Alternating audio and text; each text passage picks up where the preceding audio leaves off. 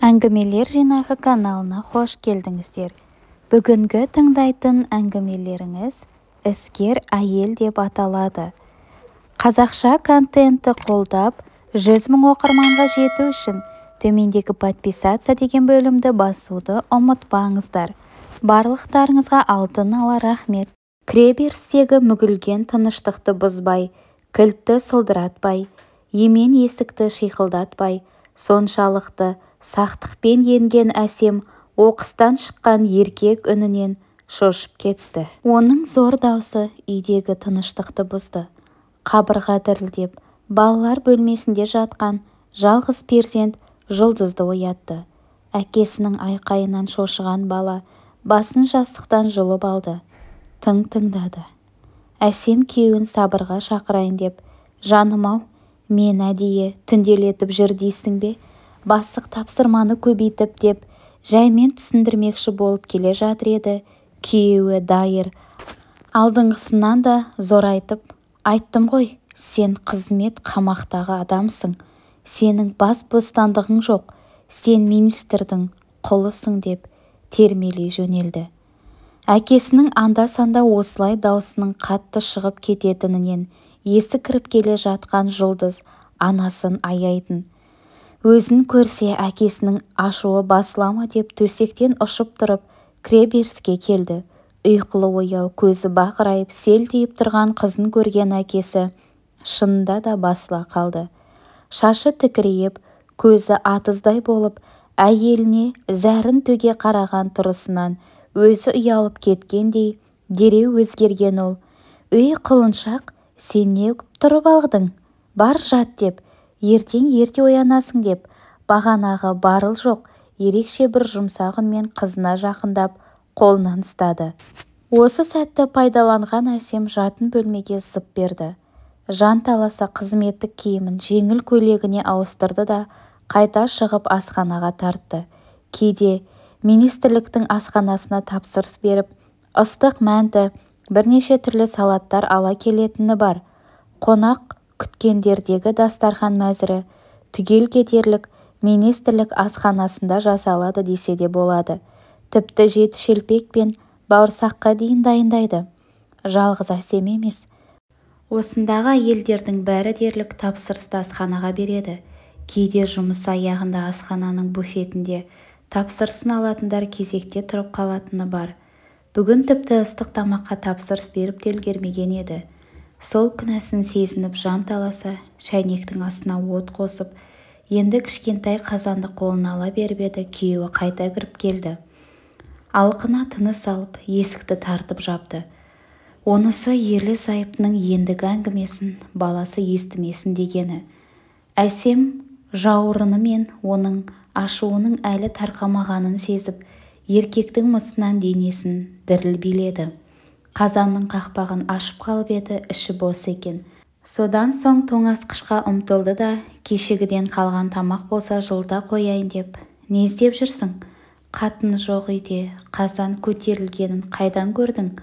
Бала екеуміз азғантай тұшпара қайнатып жегенбіз деп желкесінен байы тағы кіжінді бейшара әйелдің жауырынының ортасы терлеп үнін ішке жұтып суы қайнап ысқыра жөнелгенмен шәугімді сөндірді.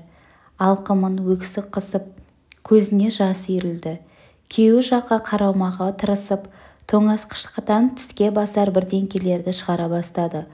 Қолы дірілдеп құманға шай салып қайнаған су құйды. Еркегі әлі зәрленіп дастархан басында отыр. Алдына қойылған кесені ысырыңқырап қойып әсем айналайын мына бала екеуміз қашанғы тірі жетім тірі жесір болып жүреміз деп анда-санда көтеретін тақырыбын қайта қозғады. Мұндайда оның айналайыны сондай суық естілетін. Одан да әй қатын деп бастап тіпті сабап алғаны дұрыс сияқты еді. Қандай да болмасын жолдың алғашқы қадамын басталғалы сияқты. Жеке тұлғаның қалыптасуы да отбасынан басталады. Отбасы бұл адамға өмірлік құндылықтар жайында түсіністік беретін алғашқы ұжым. Адам қандай дәрежеге жетеді? Жалғыз тұлға бола ма? Немесе адамгершілік тұрғыдан кеміс болып қалыптаса ма? Мұның бәрі көбіне оның балалық шағындағы ата-анасынан қаншалықты дұрыс тәрбие алғанымен байланысты. Тәрбиені сөзімізбен ғана емес ісімізбен де көрсете білуіміз керек. Бала үшін ата-ана тұлға ата-ана бала үшін нағыз айна. Жасы кішілер бізге қарап бой іздейді сондықтан. Ең майда деген істерге де мән берген абзал. Екеуміздің ортамызда бала өсіп келеді. Өзі қыз бала. Оған әкеден де ананың да мейірімі қамқорлығы көп керек. Алда өтпелі жасөспірімдік кезең келе жатыр. Ол сонда кіммен сырласады? Қыз баланың гигиенасы деген болады соны кіммен кеңеседі? Егер таза жетім болса қарындасымды не тағы да бір туыс әйелдерді көмекке шақырар едім. Анасы тірі жанда жүріп кімге мұңын шағарасың? Мәселе үйдің тазалығы мен ішіп-жеген тамақта емес қой. Үйді жинайтын тамақты жасайтын адам жалдап отырмыз. Оған да келістім. Ал балаға ананың орнын толтыратын ананы қалай жалдаймыз?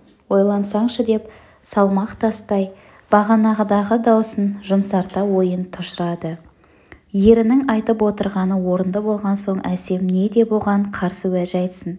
Ішінен тынып үндемей шайын сораптап қолына ілінген бірдеңкелерді аузына салып шайнаңдап отыр. Ерлі-зайыптылар үнсіз. Әрқайсысы өз ойымен арпалысып отырғаны белгілі.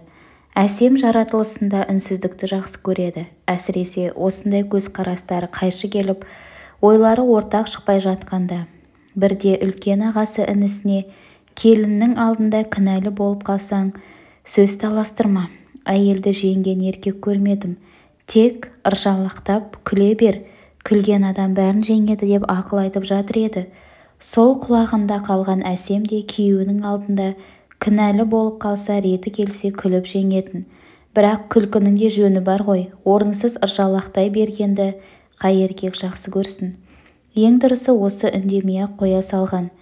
Үндемеген үйден пәледен құтылады дегенді ата-бабаларымыз бекер айтпаса керек. Терезенің ашық көзінен көшені басына көтере шыңғырып бара жатқан жедел жәрдемнің дауысы келді. Әсем мен сияқты жанталасып жүріп сұлап түскен біреуді салып алып бара жатыр ма екен? Жұмыс жұмыс деп жүріп жүрегі ұстап қалған шығар деп ойлады. Құлағына келген аш жүннен. Дайыр қанша еркегіне де мінсе де әйелін іштей аяды. Байғұс-ау осы бөлім бастығы болғалы бері есі екеу түсі төртеу болып шапқылақтап-шапқылақтап есеңгіреп кетті. Жұмыста департамент бастығы тергейді үйде байы тергейді. Екі оттың ортасына түскендей болып жүр. Әй әйел бейшараның да күні күн емес-ау деп жұбайына жылы шырайлана аяушылықпен бір сәтке қарап қояды. Екеуі сол үнсіздіктен жатын бөлмелеріне кетті. Әсемнің иығынан сусып түскен халаты күйеуіне оның қазір құшағына ене кететінін хабарлайтындай сезілді. Келіншегінен желпіп өткен тәтті иісі жанын баурап әйел жылуын сезінді. Манағы аяушылығы осы сезіммен қосыла кетіп жанын елжіретіп есік жаққа бетін қырынан жатқан жарын құшағына тартты. Әсемнің бір жақсы қасиеті әсіресе өкпешіл емес тіпті тіршілік иірімінде сөзге келісіп қалғанның өзінде дайыр бірдеңке айтпай-ақ болып әңгіме бастаса құлақ қойып тыңдай қалады. Сол елездіктігі кез келген әйел затына бермеген асыл қасиет екендігін көп оқыған. Көпті көрген үлкен ғалым іштей ерекше бағалап қадір тұтатын. Жарының сыралғы мінезін білетін әдеті мен шалқасынан жатқан қалпы алыстап ортаға әңгіме тастады. Жұлдыз есейіп келеді үйде көргенін түзде көргені көбейе береді. Сен болсаң ерте кетіп кеш келесің үшеуміз отбасылық әңгіме құрудан алыстап қызыңмен дос сырлас болудан қашықтап барасың. Қазақ әйелі батыстық әйел емес батыс әйелінің эгоизмі біздің әйелдерде жоқ. Қазақ әйелінің басты міндеті отбасына жарына ұрпағына қызмет ету тұрмыс тіршілігіне ноқталану. Әйел жол жіңішке деген шығыс философиясында қағидаға айналдырған ұлтпыз деді. Әсем үндемей тыңдап бір кезде бұрылып күйеуінің қолынан ұстады. Бұл айтқандарын қабылдап жатқан белгісі. Айтылмағандарын құлағымен тыңдағанымен келешектің көк дөнені алыста желпіп жүреді. Осы менің қандай жазығым бар? Бар болғаны мемлекеттік қызметті жауапкершілікпен атқарғаным ба? Жұмыс істемейін десем сол орыннан кеткен күні ешкімге керек болмай қалатын сияқтымын. Айлығым да жаман емес деп ойлап ешбір тіл қатпай тек жарының қолының жылуын сезіп жатыр. Күніне кем дегенде бір танысы жұмысқа оралуға көмектес не қарызға ақша берші деп телефон шалады. Айтып отырғандарына қарасаң өмірлері кілең несиеден тұрады. Үйдің керек-жарағы несиеге алынды. Көлік мінсе несиеге мінеді. Баспананы да несиеге алады. Тіпті баланы да несиеге алып үйлендіреді. Өмірлеріндегі басты сөз жетпейді. Олай тартса былай тартса жетпейді. Керегіңді қалауыңды сытырлатып ақша санап беру алу дегеннен олардың түсіне кірмейтін де шығар. Ал бұлардың отбасында ондай мәселе атаулыдан құдайға шүкір. Күйеуі жоғарғы оқу орнында ұстаз. Ұстаз болған соң ба кейде өмір туралы тракторына алып лекция оқып кететіні бар. Онысының сенімді шығатыны сол. Әсемнің өзі мына лектордың әйелі екендігін ұмытып үнсіз тыңдап қалады. Доктор дайердің дәлелдерінің дәлелдігі сондай. Ертеңнен бастап оның айтқан жолымен жүгіре жөнелгің келеді. Жүгіріп бара жатып жолдың арғы жағына қарасаң жаңағы жетпейтіндігің өзіңе қарай келе жатқанын көргендей боласың. Екеуі шүйіркелесіп отырғанда ерінің айтқандарымен жүріп жұмысты тастап үйде баласын бауырына басып жарына жылы жұмсақ пісіріп қабағын бағып отыра бергісі келеді. Бірақ өмір өз дегенін істетеді. Таңертең сағат шырылымен оянғанда қайтадан қызметтің машинасына түсіп бара жатады. Сағат шырылы дегеннің өзі жай сол уақыт тұруым керек деген тәртіптен ғана қойылатындай. Ал әсем одан 15 минут тіпті жарты сағат бұрын оянып кетеді. Бұл әдет мемлекеттік қызметке келгенше өзіне алғашқы болып майра деген үйрететін тәртібімен қалыптасты. Бөлімдегі қыздардың бірі бір күні апайлары кім таңертең сағат шырылмен оянады деп сұрады. Мен деді жанар. Мен де әйтпесе ұйықтап қаламын деді сағыныш шынын айтып. Басқалары да өз жағдайын айтып жатты. Мен сағатымды жетіге қойғанмен одан бұрын оянып кетемін деді көбіне әсем. Нағыз мемлекеттік қызметкер жұмыста ғана емес. Үйде болсын түзде болсын тіпті ұйқыға жатсын. Әрдайым үлкен жауапкершілікті сезіну керек ол тойда жүрсе де қайда жүрсе де сөзін санап айтып аяғын санап басады. Мемлекеттік қызметкердің жүріс-тұрысы аузынан шыққан сөзі жұртқа үлгі. Соған қарап елдің ертеңін кімге сеніп тапсыруға болатынын бажалайды. Сондықтан әрқашан өте жауапкершілікті сезіндіріп тұрады. Сол сезім оны сағаттан кем дегенде он минут бұрын оятып алады. Майра деген апайлары талап ететін тәртіптің өте дұрыстығын уақыт өте келе. Екі мыңыншы жылдары адамдық қарым-қатынастардың кәсіптік тәртіп кодексінің бір түрі ретінде мемлекеттік қызметшілерге қойылатын этика талаптарында нақты көрсетілгенде қайран қалғаны бар. Әсем қаратау сілемелеріндегі жыпырлаған ауылдардың бірінде дүниеге келген. Таудың жалғасы деген аты болмаса жатқан жазық дала. Ұшы-қиырына көзің жетпейді. Пойызбен келе жатқанда көз ұшына қарайған бір тал ілінсе не дейсің? Отарба зымырап келеді зымырап келеді. Көретінің құм ұшырған дала. Алыстан қарауытқан тауды жағалап түнімен жүріп таңға жуықтағанда ғана көрші өңірдің жусан мен гүлдері жайқалған жазығына ілінесің. Ауылының аты комсомол болатын. Ол атау ауылға өткен ғасырдың басында берілгені атынан айғайлап тұр. Кілең жастар қызыл отауға жиналып сауат ашып ауылдың алғашқы қазағы қағылғанда белсеніп өздерінің құрған ұйымдарының атын берген шығар. Сол комсомолдың іргесін қалағандардың бәрі осы ғасырдың басына жетпей өмірден өтіп кетті. Енді олардың немерелері ауылға ие болып шөберелері мектепте оқып жүр. Соның бірі осы әсем болатын. Комсомолдағы онжылдықтағы мектепті қатарының алды болып алтын медальға бітірді. Көлемі танадай ғана сары металдан жасалған алтын медаль деген сөлкебайды аудандық оқу бөлімінен алып келгенде әкесі қатты қуанды. Біздің мектептің тарихында тұңғыш рет медаль болды. Енді таңдап тұрып мынау деген жоғарғы оқу орнына түсесің деп шаттанды қарт ұстаз. Ол кезде жоғарғы оқуға түсу деген жақсы өмірге берілетін кепілдік сияқты болатын. Бес жыл өміріңді жастық дәуреніңмен өткізіп студент боласың. Одан жолдамамен жіберген жағына барасың жас маман деп үй береді.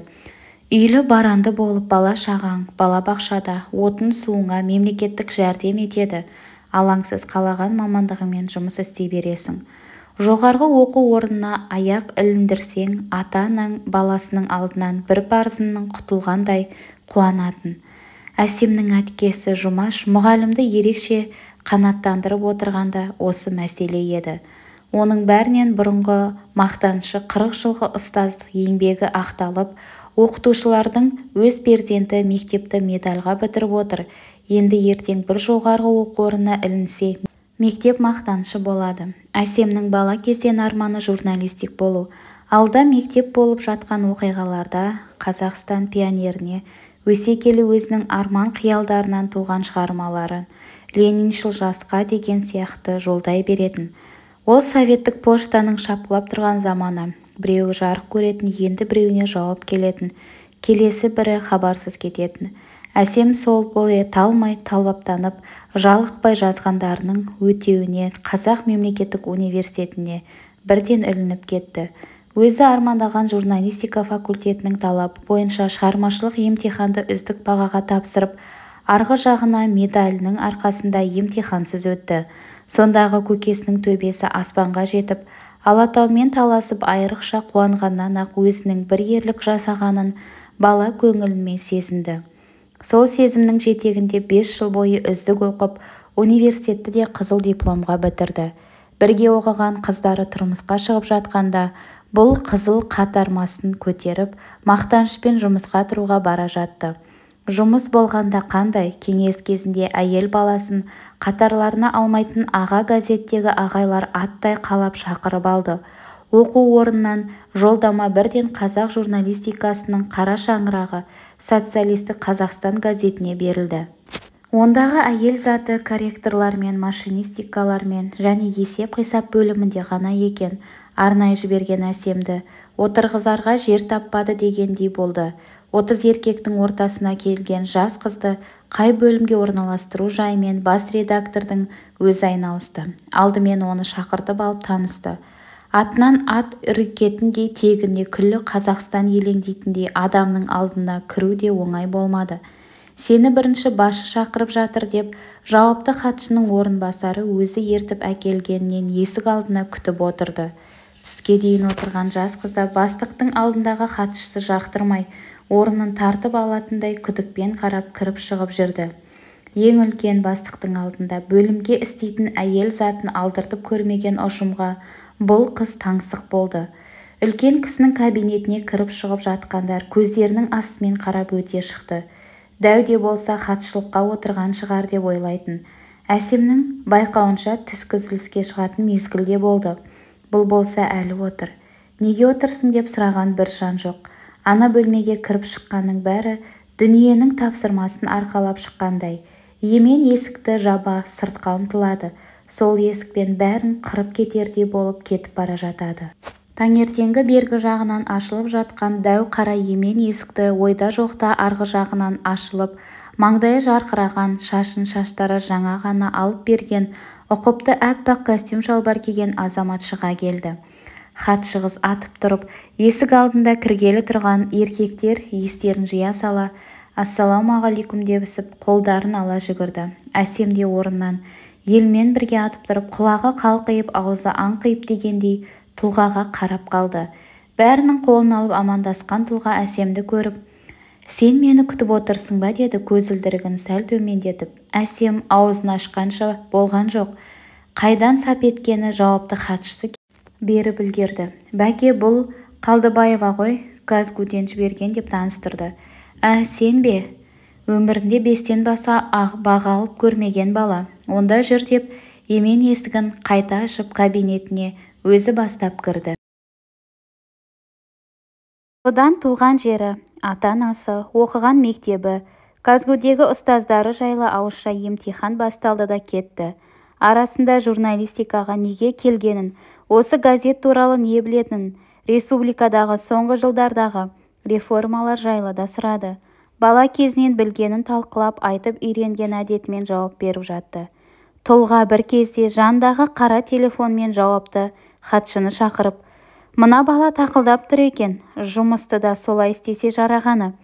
Әлеуметтікке жібер сабырбайдың школасынан өтсін бұйрығына ертең қол қоярмын деді. Осымен әңгіме тамам сені жұмысқа алдық дей. Сабырбайдың школасы десе дегендей-ақ екен университетте оқығаны бір бөлек болады да. Сабырбай ағайдай үйренгені бір бөлек мектеп болады шынында. Журнал факта оқығанда блокнот және қаламсап деген лекциядағы бір жеті оқып зачет алғаны есінде. Онда тілші кейіпкерінен сұхбат алып отырып оны қалай жылдам блокнотына түсіріп алу қажеттігін кейіпкер айтқан ұзын сөйлемді қысқартып қолданумен сөздерді қалай қысқаша еске сақтап қалуға болатынын түсіндірді. Соңынан емтиханда сондай сұрақта келетін. Әсемнің қатарластарынан ерекше қасиеті жады мықты болатын сабырбай ұстаздың үйретуінше коммунистік партияның атынан сөйлейтін газетте бір сөз саясатқа қарсы айтылса не партияға айтылған жақсы сөздер ұмыт қалса сұмдықтың көкесі сонда болады. Таңертең сағат тоғызда келгеннен сабырбай ағасынан тапсырма алып сөмкесін арқалап оқиға болып жатқан орындарға не болмаса сұхбат берушіні іздеп келіп кетеді. Ол заманда қазіргідей редакцияның журналистерін таксидің төлейтін көлік деген атымен болмайтын. Маңдайларына біткен жалғыз вольга мен тұлғаның өзі жүреді. Қалған тіршіліктерінің бәрі қоғамдық көлікпен шапқылайтын кейбіреулеріне проездной деп аталатын қоғамдық көлікке тегін мінуге құқық беретін қатырма қағаз тиеді. Жүре келе әсемге де біреуі бұйырды. Жол ақысы тегін болып қалта қаражаты үнемделіп қалды.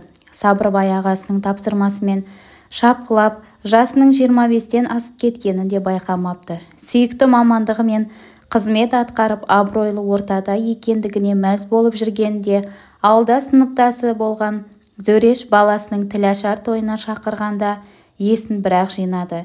Әйелдің басты парызы жар сүйіп ұрпақ өсіру екендігі сол тойдың төрінде отырғанда барып санасын оятты. Жары жанында балалары бауырында зөрештің бақыттан басы айналды. Екі ұлы мен қызының сүйкімділігі сондай әрқайсысын сүйіп-сүйіп алғың келеді. Күйеуі орта бойлы қатқан қара жігіт екен. Зөреш педтехникумның білімінен-ақ қаладағы білдей мектепте ұстаздық етіп ұжымы мен ата-аналардың шәкірттерінің құрметіне бөленіп жүрген көрінеді. Той үстінде мектеп басшысы сөйлеп әріптестері мақтап ағайын-туыстары зөрештің қатарының алды екендігін мақтанып жатты. Әсемнің жүрегіне осы қуаныш тойы өмірде отбасын құру деген мақсаттың болатынына ой салып қатарынан қалғандай қызғаныш тудырды. Сол ойдың түсуі мұң екен. Өміріне дендеп ене бастады. Жігіттермен танысқанда бұрынғыдай емес оларға потенциалды күйеу ретінде қарайды. Бұрын жанындағы еркек атаулыны тек әріптес не қызмет бабында кездескен адам ретінде ғана көретін. Енді басы бос бекен жасы нешеде? Қыздардың қандай қасиеттеріне назар аударады екен деген ойлар толғандырды. Қырсыққанда бұл назар аударған еркектің бәрі басы бос емес болып шығады. Яғни әсем оқып-тоқып қызмет үйреніп жүргенде жақсы жігіттерге пысық қыздар күйеуге шығып алыпты. Еркектер үйленбейді оны әйелдер өздеріне үйлендіріп алады. Ешбір әйелді өзі қаламаса ешбір еркек ұстап тұра алмайды. Отызға жетпей біреуің өзіңе үйлендіріп алуың керек деп жатақханада көрші тұратын кәрі қыз деген сүйкімсіздеу атқа сыртынан ие болған алма қақсап түсіндірді. Кімді өзіме үйлендіріп алсам екен деген қанша ойласа да өзінің ешкіммен бас қосқысы жоқ. Көріп танысып жүрген шалбарлардың бойдақ дегендері мұның талғамының шегеріне де келмейді. Қазақ ауыз әдебиеті мен қазақ сәбәт әдебиетін жаттап әлем әдебиетін оқып ұйқыға кететін әсемнің талғамынан табылатын интеллектуал азамат әлі туылмағандай. Ертегідей десек ақбоз атты ханзада болып елестейді. Камила досына ұқсап есін білмейтін бірінші курстағы біреуге оқитындардың біреуіне шыға салу керек еді. Енді ананың анасы мынаның мынасы көңілінен шықпайды.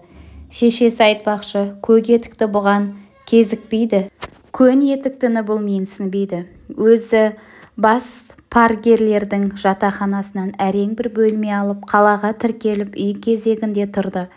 Ең болмаса баспанасы бар біреуге шыққысы келгенімен кездескеннің бәрі өзі сияқты ауылдан келген баспанасыздар. Талабы тас жарып білімі бұлақтай ағып арманы асқар таудай болып тұрғанын қайтсын бармақтай бақ болмаған соң қуықтай бөлмесіндегі жалғыз төсегінде жатып кейде қамығады. Жазғандарын ағайлары мақтап атаулы мерекелерде марапатқа ұсынып көңілін көтеріп тастайтындары да бар. Айына бір рет келетін редакцияның кезекшілігінде кешке қарай корректорлар бөлмесіне барып қыздармен шай ішеді олар әсемді қаншадай сыйлайды барларын алдына тосады. Себебі ол қыздар да кезінде журналист болсам деп алматыға келіп жоғарғы оқу орнын бітіргендер. Өкінішке орай бөлімге орналаса алмай ең болмаса газеттің маңында қате теріп жүрейік деп қалып қойғандар.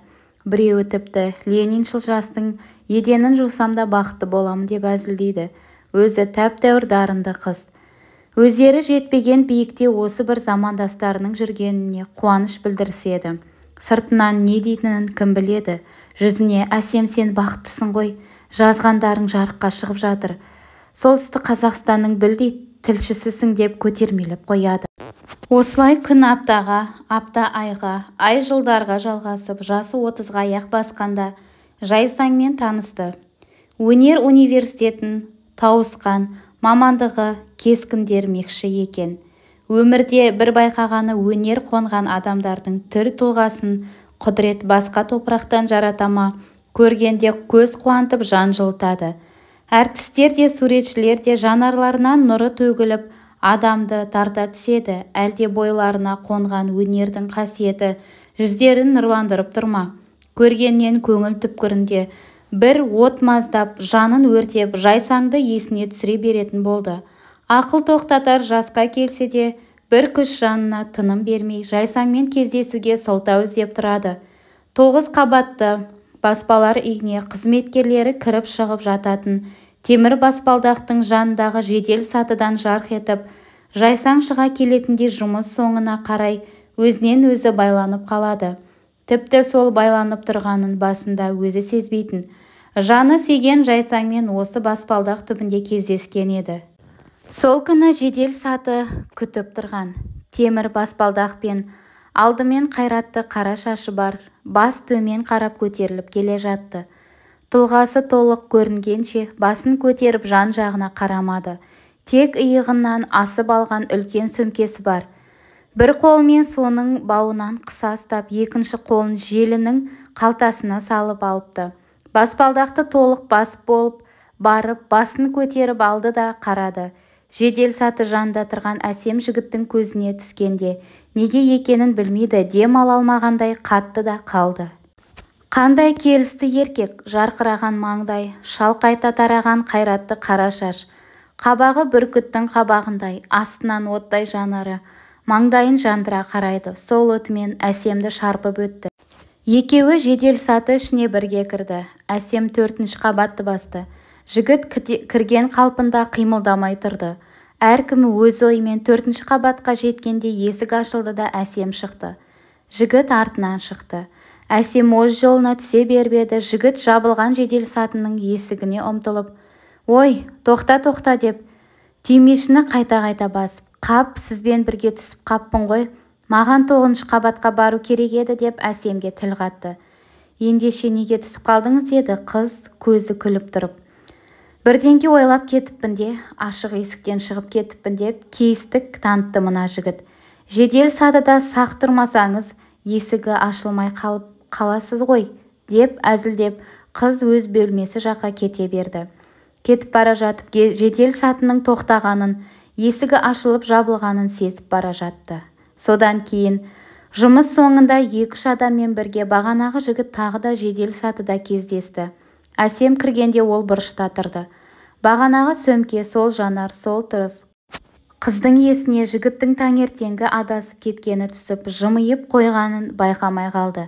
Жігіт те жымиды. Бірінші қабатқа барғанда ол алдымен ұмтылып жеделдете басып сыртқа шығып кетті. Әсем алдында тұрған үлкендердің маң-маң жүрісінен жедел сатыдан тез шыға алмай жігіттен көз жасып қалды.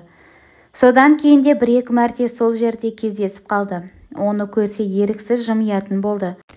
Одан келе амандасатындай жағдайға жетті. Көзі үйрене бастағаны сондай жұмыстан қайтарда елеңдеп жедел саты маңына байланып қалады.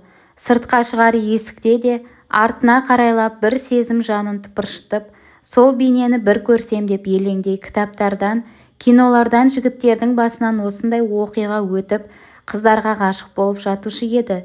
Өзінің мына халі тоқтам таппай жүрген ойы тіпті алаңдата бастады. Бұл не бір көргеннен ғашық болу ма? Оның отбасы бар шығар. Менікі не ұшқалақтық? Кірер шығар есікке осынша елеңдеп. Соны бір көрсем деп жүрегім езіле сағынып деп өзін өзі сөгіп қояды. Күндердің бір күнде тоғызыншы қабаттағы бір редакцияда әріптес қыздың туған күнінде жұмыс бөлмесінде аталатын болды. Ол кезде қазіргідей емес заманның кеңшілігі. Журналистер айына бір-екі рет қаламақы екі рет бөліп айлық алады қаламы жыбырлағанның аузы ақ майға тиеді. Туған күндерін жұмыс бөлмелерінде-ақ түбінде тұрған көк базарды көшіріп келіп арақ-шарабын ағылтып тойлап береді. Жұмыс соңында қалып романтик атты магнитофонды айғайлатып қойып билеп те жататын. Сондай бір атаулы күні шақырған дастарханға келсе көзі жайнап сол отыр. Отырыс барысында танысты. Аты жайсаң екен. Құдай-ау атам да атты тауып қойғаш екен ғой. Жайсаң десе жайсаң. Отызға келгенше көрген еркек атаулының төресі. Шынында да бұл байғұс осы жасқа дейін біреуге жарытып ғашық болып көрмепті ғой. Мектепті медальға университетті қызыл дипломға бітірем деп басын кітаптан көтермей жүргенде кімді көрсін? Көзінде үлкен көзілдірігі бар. Басы кітапқа кіріп кеткен мұны кім көрсін? Оқуын тәмамдаған сол қызметке тұрды. Мұнда көргендері кілең үйлі баранды еркектер. Редакция жұмысынан мойны босап ілуде бір қонаққа бара қалса еркек атаулының жанында иемденіп алып бір-бірін қақшайған қатын отырады. Сөйтіп жүргенде көргені жайсаңы ғой. Бақытына қарай басы бос болып шықты. Сол танысудан кейін жедел сатыда амандасып жүргенде жігіт мұны киноға шақырады. Мой ласковый и нежный зверь атты антон чеховтың аңшылықтағы драма атты хикаяттарының желісімен түсірілген сол жылғы канн кинофестивалінің жеңімпазы болған мелодрама. Кедей отбасынан шыққан ольганың бар арманы ауқатты адамға тұрмысқа шығу өмірде есепқой болғанмен ішкі дүниесінің шындығын композитор евгений догоновның ғажайып вальсі ақтарып салып көрерменнің де жанын тербетіп кетеді. Аяқталуы бақытсыз сол қыздың тағдырындай болмаса да жандай көрген жайсаң мен тағдырлары мәңгілікке табыспады. Өзінен он жас үлкен жігітті құлай сүйіп қосылғанмен араларында перзент болмаған соң жайсан мұны тастап кетті.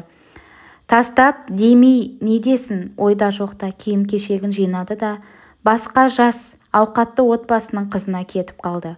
Онымен тұрып бес жылда күйеуінің қабағына қарап барлық жағдайын жасады. Бар кінәсі бала таппағаны.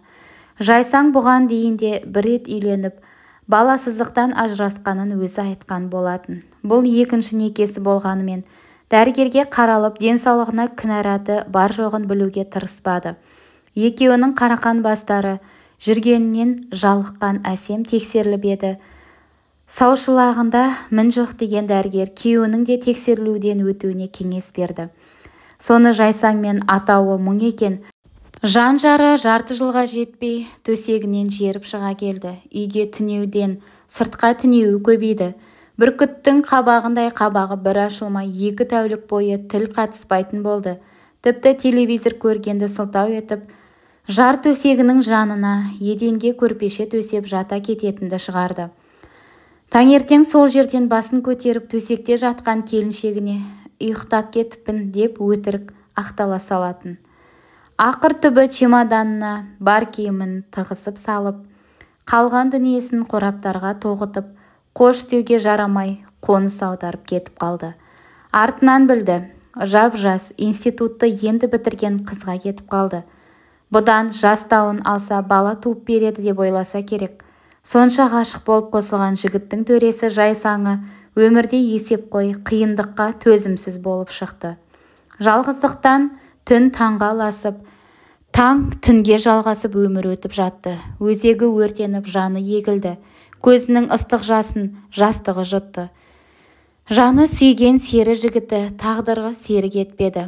Жастықтың оты жанған шақта еркек атаулыдан көңіл қалып кейде қасқырдың қаншығындай ұлып шығады. Жігері мен қайратын жұмысқа салды. Еткен еңбегі еленіп ойда жоқта әсемді білім министрлігіне қызметке шақырды. Оның кандидатурасын ұсынған досы дәметкен еді. Тікелей бастығы жазғандарын оқып қабілетін байқап жүрген министр орынбасарының өзі болып шықты. Жақсы адамдар көп жақсы адамдар таусылса жер төңкеріліп кетеді дейтін әжесі сол айтпақшы жақсы адамдардың арқасында жасып қалған көңілін қайта шырқыратып білдей министрлікке қызметке ілінді. Вице-министрдің сенімін ақтау жолында барын салды. Мемлекеттік қызмет дегенің журналистің жұмысынан өткен талапшыл уақытпен санаспай атқарылатын ұсақ түйегі көп. Барып кел алып келі одан да көп болып шықты. Жалғыз басынан басқа алаңы жоқ. Қыз ерте келіп кеш қайтып әр қағаздың үтір нүктесін айрықша мән беріп жүріп үйреніп кетті. Жайсаңнан жараланып қалған жанын жұмыспен емдеді. Өз жарасын жалап емдейтін қасқырдың қаншығындай болып үйге келгенде ұйқыға көзі кеткенше теледидар көреді. Айғайлатып музыка қойып үй ішін тазалайды баптап ас пісіреді. Қандай істің де артының қайыры бар? дегендей осы жерде жүріп перзентінің әкесі асыл жары дайыр деген адаммен кездесті. Министрлікке заң жобасын жасаушылардың құрамына келіп кетіп жүрген жігіт ағасы өзінің өмірлік жары ұрпағының әкесі болады деп ойлау түсіне де кірмейтін. Мінезі өте салмақты адамға көзінің астынан қарап отырыстарда өз пікірін зор даусымен зілдей етіп жеткізетін ғалымның сарапшылар аяғынан тартатын. Заң ғалымынан докторлықты қорғаған онымен министрлікпен бірлесе заң жасап жүрген депутаттардың өзі де сөз таластырмауға тырысатын. Оның айтқан ұсыныстары келесі жолы салыстырма кестесіне дұрыс түспей қалса сұмдықтың көкесі сонда болатын. Дәл сол жерде кестені жасаған адамды шақыртып өзі жанына отырып алып қадала қарап қатесін түзеттіретін. Осындай жаратылысы қиын оқымысының басы бос екенін күндердің күнде қандай жолмен білгенін қайдам заңнама бөлімдегі бір әйел біліп алыпты. Содан оның басы неге бос неше рет үйленген балалары бар ма? Өзі қай өңірдің тумасы дегендей сұрақтарға жауап іздеп біраз жалғыз жүректі жаулықтарды сабырлап кеткендей болды. Көп ұзамай ұзынқұлақтан жауаптар да жинала бастады-ау сонымен кәтте ғалымның шынымен де басы бос ажырасқан перзент сүймеген ғылым қуып кеткен қиялы оңтүстік аймақтан болып шықты. Енді маңайындағыларды күйеусіз әйелдерге ана ғалымның қапы қалмаңдар деп күлкіге айналдырып жүретіндер де табылды. Тіпті несі бар? Алса кет демес едім. Интеллектуалды доктор деген дардай аты бар деп дәмеленгендер де көп болды. Ал сол қиялы ғалымның көңілі көкте көрінеді. Үмітпен ұмтылғандарды маңына жолатпай жүргенде естіді әсем. Бір кезде сол дайыр парламенттен келген депутаттар мен білім туралы заңды жасау барысындағы көшпелі отырыста сөз таластырып отырғанда үстінен шықты. Талас тақырыбы бүгінгі мұғалімнің жағдайы абырой беделімен күн көрісі. Мені танымайтын шығар түрім есінде де жоқ шығар деп жүрген әсем дайырды күтпеген жерден аталас ағайдың үйінде кездестірді. Министрлікте жанға назар салмайтын доктор әсем саламат па айналайын дегені көргеннен өзінен мүшел кіші қарындасқа ескі танысындай жылай шырланып амандасты. Жымиып күліп қолын алды. Заңгерлердің бәрі қорқатын доктор дайыр де күле алады екен. Әсем таң-тамаша болды. Есіне қызметтестерінің қыжырата айтатындары түсті. Күлкісі де келеді. Сол бетте шығып күлімсірей амандасты. Мұның күлімсіреп амандасқанының ғалым жүрегіне жақын қабылдады ма? Дастархан басында тіпті қарама қарсы отырды. Доктор қолын созып қыздың ыдысына ас салып беріп жеміс тәттіге қол жалғап әбден жік-жаппар болды. Өзі ине жіптен шыққандай киініп алыпты. Үлкен көзілдірігінің арғы жағынан қоңырға көзі мейірлене қарайды. Үй иелері мен қонақтар да дайыр ерекше ілтипат білдіріп құрметтеп жатыр. Сол кеште дайыр жеңгесі екеуінің қолдарынан сүйіп қоштасты. Ағасы профессорды далаға дейін шығарып салды. Көп ұзамай дардай адам жұмыс іздеп келеді. Қызметтік байланыспен келді ме деген ғалым айды аспанға шығарып қызды ресторанға шақырды. Үлкен кісіден мұндай құрмет күтпеген қыз не келісерін не бетін қайтарып тастарын білмей қалды. Екеуі холлда сөйлескен. Осы тұрыстарын бөлімдегілер көріп қала ма? деп қобалжып тұр. Көп ойлана бермей келісе салайын қазір біреу көріп қалса мазақтап жібер деген оймен жарайды аға ертең жұмыстан кейін барайын деді. Доктор сондай тыңғылықты екен қолына мынау мекені деп кішкентай қағаз берді. Әсем қолы дірілдеп бір жапырақ қағазды ұят деп буып әрең алып алақанынан умаждай қысып салды. Бөлмеге келген соң ашып қараса сити старс деп ресторан аты көшесі кездесу уақыты жазылыпты. Әсемнің кешке қарай дайырмен кездесетіні есіне түскен сайын ұяттан өртеніп жүрегі тарсылдап жүргенде жұмыс күні аяқталды. Қанша ұялса да кездесуге баруға тура келеді. Қол астындағылардың бәрі тарап кеткенше әрнені сылтауратып біраз жүрді. Қанша қысылса да кездесуге баруға тура келеді. Шашын тарап киімін ретке келтіріп тіпті сөмкесінің ішін тазалап біраз жүрді. Үлкен кісінің ресторан алдында күтіп жүргенін ойласа қарадан қарап қызарады. Күттіріп қойғаным ыңғайсыз шығар деп аяғын санап басып сыртқа шықты. Дәл ойындағындай болды. Дайыр ресторанның дәл алдында ары-бері ойқасып жүр екен. Әсем жақындағанша ары үш бері үш реттен жүріп шықты. Қыздың қарасын көргеннен қуанып кеткені сондай адымдай басып алдынан шықты. Келе күндіз көрсе де амандасу мезіретімен тағы да қолын созып айналып қалды ма? деп едім. Жұмыстан осылай кеш шығасыңдар ма? деп үлгерді. Қыз үндемей күлімсіреп жауапсыз қоя салды. Ішінен бүгін қайта тез шыққанымыз ғой? деп ойлайды. Сол жерде бірі өмірдің сан түрлі сынақтарында тағдыр толқынынан толқынға ұрынып оқудың түбін тауысқанымен өмір мектебінің үйреткендерінен сан рет жаңылысқан естияр еркек екінші жас дегенмен есік көрген аты бар он екіде бір гүлі ашылмаған қыз пікір алмаса отырып жақын танысты. Ұстаз болған соң ба дайыр сұрақты көп қояды екен. Әлде асем туралы шынымен де көп білгісі келеді ме? Қанша қысылса да қанша толқыса да қыз оның сұрақтарының бәріне ынты-шынтысымен жауап беріп отырды. Дайыр әсемнің ақ көңілділігін қулық сақтап көзін санап тұрмай ақтарыла шынайы айтып отырғандарын қатты ұнатады киіну үлгісі де бір сыдырғы ашық-шашық емес шашының қаншалықты ұзындығын кім білсін әйтеуір жинап төбесіне түйіп қойыпты. Маңдайындағы әріптестері шәкірттері бар жиналыстарда да кез келген десетіндері көшеде ұштастыратындары бар. Әйел атаулысының шашын бүгінде қысқа ақылдары ұзын шығар. Ғылыми конференциялар бар ма басқа ма? Бас қосуларда залда отырғандарға қарағанда бірде-бір екілі ғана шашы төбесіне жиналған әйел көрінетін. Қазіргі жастардың үлгісі ме қалың әдемі шашты беліне түсіре қиып оны жалбыратып жіберіп қояды. Алдына келгенде төгілген шашымен алысып кететіндей де бар. Әсемнің тұлғасына көзі тойып ойлы жауаптарына көңілі семіріп көзілдірігінің астынан сүйсіне қарап отырды.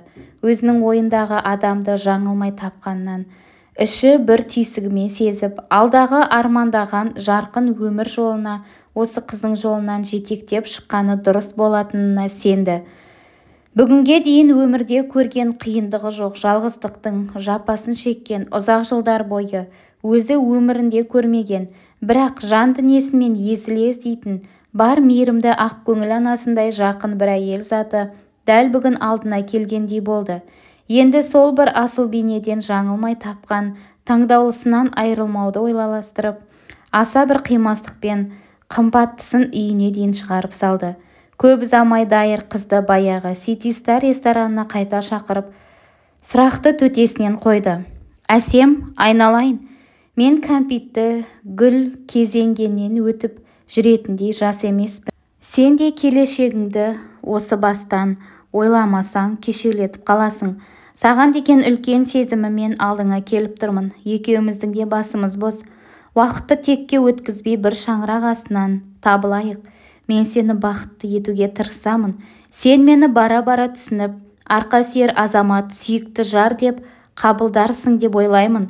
Осы ниетімді қабыл алсаң ата-анаңның алдынан өтіп келейін ағайындарыңмен деп бар мәселені өзі шешіп отыр. Әсем тағдырына қатысты осынша жылдам осынша жауапты ұсыныс күтпеген еді. Жүрегі алқымына тығылып ұяттан жүзі өртеніп қапелімде аузына сөз түспей тынысы тарылды. Үлкен адамның бетін қайтарып тастай да алмады. Есік көрген деген аты бар тым қыздай сызыла алмады. Бүгін бір жылылық білдірмесе үлкен кісінің қайтып бетін алмасында ішкі аңғарымен сезінді. Өзі көріп жүрген еркек атаулының ішіндегі жанына жақын жүрегі жұмсақ азаматтай көріп жүргені де шындық. Ал тағдырын сеніп тапсырып жан жарым деп қабылдай ала ма жоқ па ол жағын бірден ажырата алмай отырғаны әлі қолынан жөндеп ұстаған емес. Еркектен төсекте қалай бірге жатады? Өзі қыз шошырлықтай ұсқынсыз да емес. Тек киімді олпы-солпылау киіп жүргені болмаса ұзын бойлы шашы сирек болғанмен тақырбас емес. Көзінің аясы үлкен жанары ашық қоңыр. Көзілдірік кигізіп қойған аюға ұқсап отырған мына адамға көңіл түпкірінде бір құрмет те бар сияқты. Сол жанын жылытып жүрегін толытып ойлануға уақыт беріңіз дегізгені. Әсемді үйіне шығарып салған сәттен дайыр үшін бақытты жолдың бастауында жер бетінде сити старстан асқан ресторан болмады. Кейін де отбасының барлық шараларын сонда атап өтуді осы дайыр шаңырағының дәстүріне айналдырды. Дайыр әжесінің айтуы бойынша бесінші атаға кетіп барады. Әулеттері еркек кіндікті тапшы. Жаугершілік заманда арғы аталарының қаһарманынан жалғыздығынан айрылған бір ана қарғаса керек. Тұқымының өспегір деп. Шынымен сол қарғысқа ұшырады ма? Жоқ тағдырдың тас маңдайларына жазуы ма? Бір түтінге бір тұяқ болып әупірімдеп әулет ізі жалғасыпты. Ұл таппайтын қатын жоқ тұрарын айт деген. Баба сөзі де тегін емес қой. Әкесінің айтуынша бесінші атаға кетіп барады. Әулеттерінде еркек кіндікке тапшы. Жаугершілік заманда арғы аталарының қаһарманынан жалғызынан айрылған бір ананың қарғысысы болса керек. Тұқымың өспегір деп. Шынымен сол қарғысқа ұшырады ма? Жоқ тағдырдың тас маңдайларына жазуы ма? Бір түтінге бір тұяқ болып әупірімдеп әулет ізі жалғасыпты. Ұл таппайтын қатын жоқ тұратынын айт деп баба сөзі де қалған емес. Әкесінің айтуынша арғы-бергідегі аналарында 15 құрсаққа дейін көтеріп ішінде жеті-сегіз ұл тапқандары да болыпты. Замандағы ел дауы жер дауы бар. Шығыстан келер шапқыншылық бар. Ат жалын тартып мінгендері қиылып кеткендері де бар. Балалардың қырғидай тиетін ауру сырқаулары бар. Жалмай беріпті. Жаугершілік бітіп ел орнықты дегенде ашаршылық қалғандарын қынадай қырылды. Дәу әжелері жалғыз ұлды арқаға таңып екі қызын жетелеп ел кезіп әулет жібін үзбеген дейді. Кешегі ұлы отан соғысының өзінде осы әулеттен бес оғлан аттанып аман оралғаны әкесі кәмен болыпты.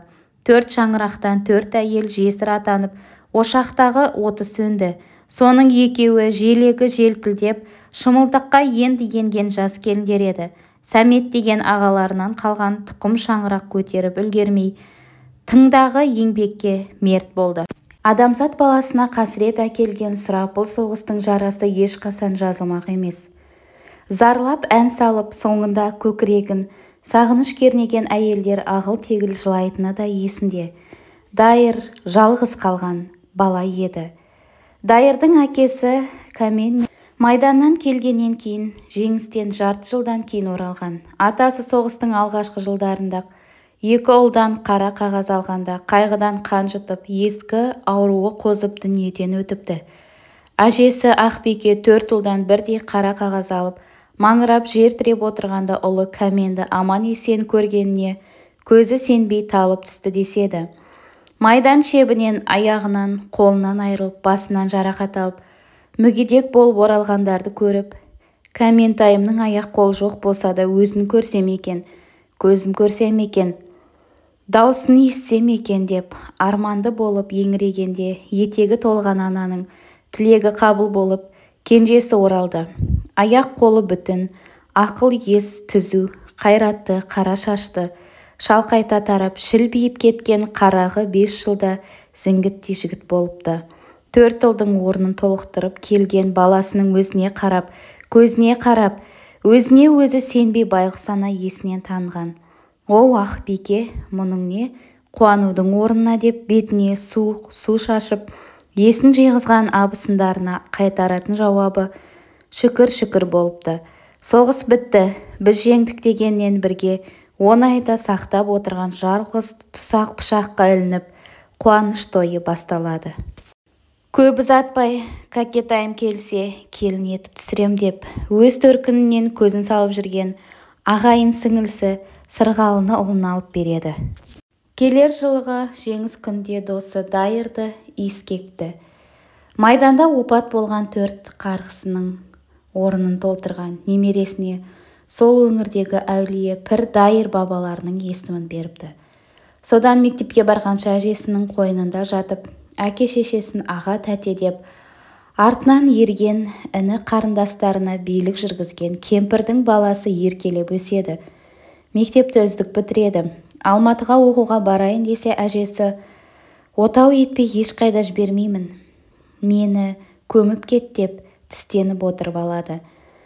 Әкесінде сары кемпірге қарсы келер қауқар жоқ. Шешесі басын үйдің тірлігінен көтере алмай жер жүзіп жүргенде енеге қарап сөз қайтар күш қайда мұғалімдік оқуға алматыға аттанам деп жүрген ұлын әкесі соңғы емтиханды тапсырып келген күні оңашалап алып сөйлесті.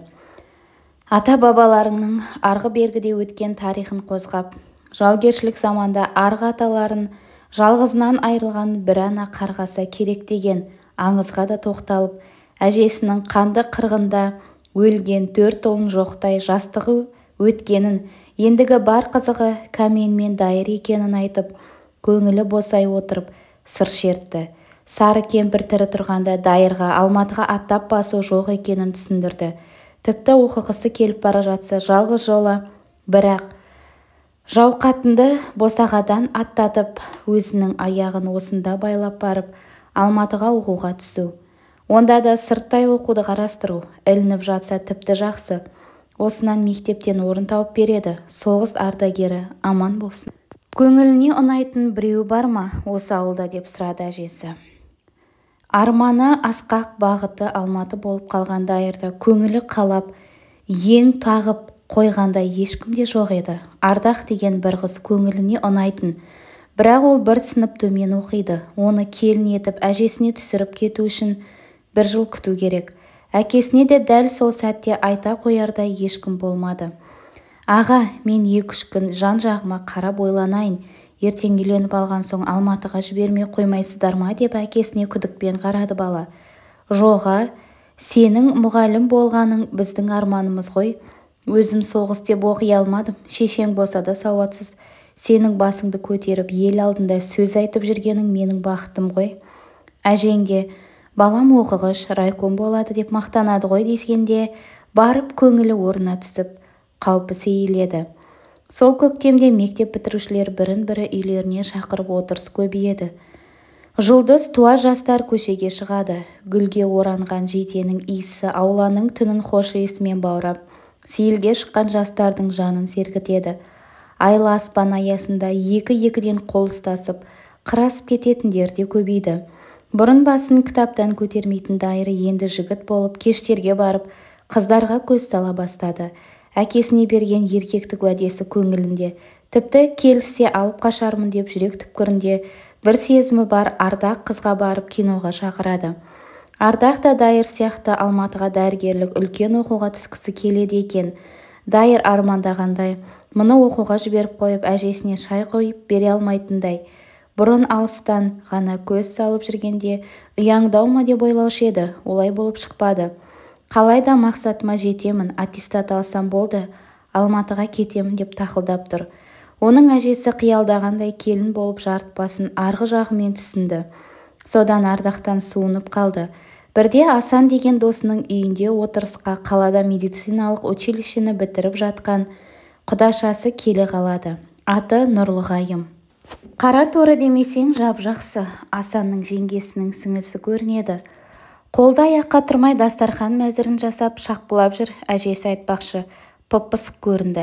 Келіншектің пысық болсын сонда бір жағың ашып қызмет етеді табысыңды берекелеріңді ұстап. Балаларын да өзі бағып қағады сен қызметіңді істеп. Райком боп жүрсең бос болса көрпесі төрден есікке шұбатылып балалардың кірқожалағы болып дастарханыңнан ешкім тамақ ішпей қояды деп құлағына құйып отыратын. Бірден көңіліне жаққан нұрлығайымен сол кеште жақын танысты. Медсестраның оқуын биыл бітіріпті дипломын күтіп жүрген көрінеді. Үсті-басы мұнтаздай өзі ақ жарқын қыздың. Жалғыз кемшілігі жігітпен бір жасы үлкен болып шықты. Онда тұрған не бар? Өзі нәзік болған соң қатар көрінеді. Ешкімге айтпаймыз үлкендігін.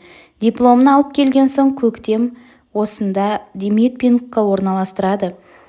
Доктор келіні әжемнің денсаулығын қарап жүреді деп өзінше қиялдаған дайыр. Қызды қайта-қайта биге шақырып жанына жақындатты. Қатарластарынан денелі бойы ұзын сөйлеген сөзі орнықты жігіт қызға да ұнаса керек. Орамал тастамақ ойнағанда қайта-қайта орамалын көлеңдетеп қоймайды. Ойда жоқта екеуара үнсіз бір байланыс орнады. Дайырдың маңдайына жазылғаны ма аласұрып нұрлығайымды алып қалуға жоспар құрастырады. Асаннан құдашасының қашан қайтатынын сұрады. Бір жетіге келгенін біліп алып сыртқа шығарып бар сырын досына ашты. Құдашаң қатты ұнап қалды. Әжеме келін түсіріп берейін. Алматыға барып сырттай оқуға түскім келеді деп салды. Аңқылдақ досы бірден алып қаш мен шығарып берем деп келісе кетті. Ертесі таңғы шай үстінде дайыр үйдегілерге әжеме келін түсіріп беремін деп жаңал қашты өткенде ғана үйлен деп отырған әкесі қалай аяқ астынан ба? дегені дайыр сасқалақтап сіздер үйлен деп жатқан жоқсыздар ма? деп міңгірледі де қалды. Бағанағы екпін жоқ. Кәкітай сен не деп отырсың? Көктен тілегенді алам жерден беріп жатқанда сенікі не сөз? Үйленсін ал кіммен құда боламыз деп әжесі немересіне қарай бұрылды. Маңызды сөз тыңдағылары әдетімен кимешегін құлағына шығарып мына сұрақты күтпеген дайыр ойбай кіммен құда боласың деймін? деп есі шығып кетті. Шындығында ол құдалық жағын ойламапты. Қыздың қайдансың ата-анаң кім? Қай жүз қай рудансың? деп те сұрамапты. Бар білетіні қыз досы асанның жеңгесінің сіңілісі аты нұрлығайым. Білгенін тізіп шықты. Үйіндегілерге айрықша ұнағаны қыздың медсестраның оқуын тамамдап қойғаны болды. Әжесі дайыржан мұғалімдік оқығанда доғдыр келін әкеліп берсе деп жүр едім айналайын құдайдың ести қалған қарасы деп тіпті мәз-мейрам болды әжесі. Анасының қайырып тастағанынан үндемей қалған әкесі қызбен танысқанда тегін сұрар болар бір атаның баласы болып қыз алыспас жерден болса қайтесің деп әлден уақытта барып зілденіп тіл қатты. Анасы асанның жеңгесінің сіңілісі болса бізге де құдаша қыз алыспасымыз анық көкесі деп әкесіне қарата даусын әрең шығарып өз ойын жеткізді. Енесінің алдында күйеуіне қарап сөйлемейтін қазақ әйелінің әдебін баласын қорғау үшін амал жоқ асып отырғанын дәу кемпір де байқап әрі мына әңгіме жаныма майдай жақып бара жатқан соң келінге тәйт демеді кешке қарай оңашада ұлынан апам баласы ол қыз оқу бітіріп қойса сенен үлкен емес пе екен? деп көңілдегі күдігін жайлап қана аналық махаббатпен көзіне күлімдеп қарап тұрып сұрады. Дайыр әжесінің баласы болғандықтан анасы шашынан сипай алмайтынын қазақ келініне тән иба деп бұл үйде сақталатын. Тәте медсестраның оқуын сегізінші класста бітірген соң түсеткен көрінеді. Менен бір жасқа ғана үлкендігі бар. Ал өзі нәзіктеу болған соң үлкендігі білінбейтіндей деді. Баласының көңіліне жаққан қызға басқаша сын тақпай тек оңаша шашын сипап алып кел әжең қуансын бақытты болыңдар деді. Жексенбі күні аялдамада көлік күтіп тұрған жерінен қызды дайыр екі жолдасымен барып москвичте отырған асанды сылтауратып ішіне отырғызып алды да нағашыларының ауылына қарай құйғыта жөнелді. Дайыр осылай алғаш рет күйеу болған. Жас келіншегімен ыстық-суығы басылмай-ақ оқуға түскісі келетінін жаны жеп ұйқысын бұзды да күйеудің әжемді арманыма жеткіздім доғдыр келінін қолына түсіріп бердім деген оймен алматы қайда? Айт шу қарақұйрық деп тартып берді тау асып. Сол жылы бірден жолы болып қазақ педагогикалық институтының тарих факультетіне ілініп алдымен күндізгі бөлімге тапсырып көрейін түсе алсам сырттайға күзге қарай тапсырармын деп келген жігіттің ойы оңынан туды. Көкем ренжімейтін шығар уәделерінде тұрмадың деп сырттай түсіп мұғалім болам дегенің қайда? дегенді ойлағанда оқуға түсіп жеткен жеңісі алғашқы қуанышына байғұс бала ел құсап қуана да алмады. Өз-өзіне қуыстанып үйдегілерге қалай хабарларын білмей түнмен ұйықтай алмай шықты. Жандағылар қуаныштан кеше жолға шығып кеткен. Болмас бәрібір айтуға тура келді. Барып хабарлап ары қарай не болатынын ақылдасып келейін деген бала таң азаннан автовокзалға баратын троллейбусқа отырды. Нұрлығайым әжесі армандағандай келін болып шықты. Ата-енесіне жайлы болғаны сондай ұлдарының алыста екендігін де білдірмеді. Соның арқасында дайыр алаңсыз институтты лениндік стипендияға оқып қызыл дипломға аяқтады. Үздік шәкірттерінің қабілетін байқаған ұстаздары. Аспирантураға келген жалғыз жолдаманы осыған берді. Ұлдарының тағы оқуын жалғастырамын дегеніне ата-анасы ерекше мән бермеді. Себебі артындағы іні қарындастары жетіліп келе жатқан болатын. Алматыда соларға бас-көз болсын деп ойлады. Әжесі мен ата-анасындағы жалғыз уайым нұралайымның әлі салтаң жүргені болатын. Түскеніне бес жылдан асса да келіндері көтермей жүр. Сыртқа шығарып айтпаса да бәрі іштей алаңдаулы еді. Тек анасы дайырға екеуің екі жақта жүрген соң осылай болып жатқан шығар. Нұрлытайдың өзіңмен қалаға ала кетсең қайтеді апам баласы деп жұқалап жеткізді. Әжесінің жасы ұлғайып төсекте жатуы жиілеген. Ол кісінің бұл дүниенің қызығынан гөрі ол дүниенің сыры көп тартатын. Үй іші келісе отырып дайырдың аспирантта оқуына алған жас отбасылық жатақханасының бөлмесіне тұруға келінді қосып жіберді. Үш-төрт жыл зымырап өте шықты. Дайыр аспирантураны аяқтап кандидаттық диссертациясын да қорғап үлгерді. Нұрлығайымда өзгеріс болмады. Емханадағы жұмысына барып келеді. Қалған уақытының бәрі күйеуінің жағдайын жасауға арналады. Екеуара айтылатын ортақ әңгіме де болмады. Дайыр кітаптан бас алмайтын. Уақыттың көбі түн жарымына дейін кітапханада өтеді.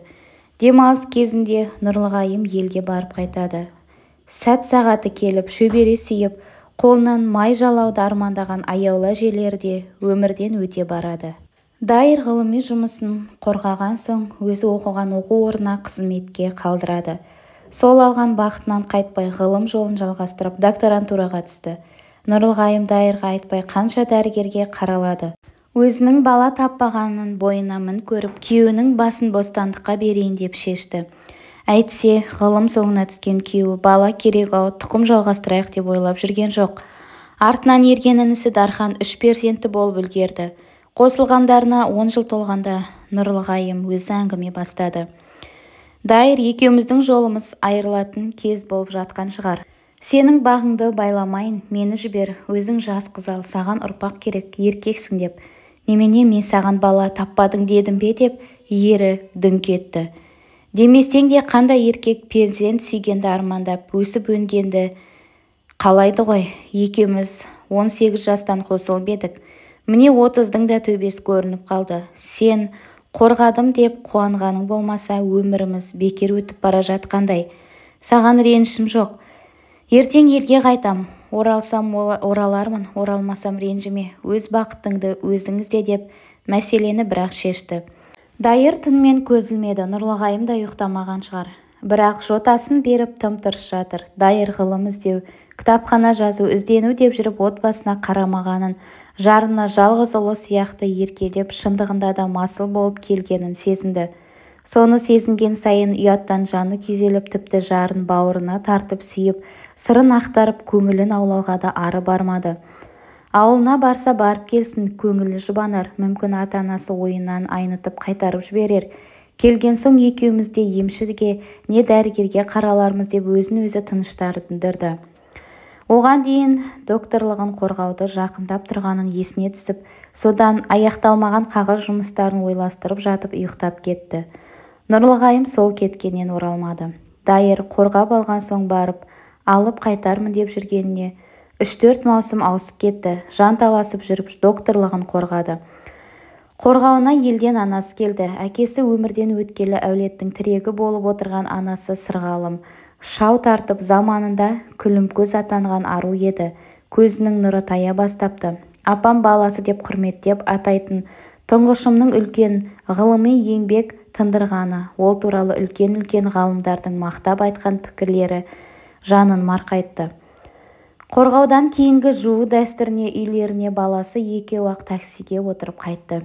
Байғұс баланың жанына еретіндей дос-жары жоқ екен-ау дегенді ойлап көңілі жабырқап келіні нұрлығайымды іздеді.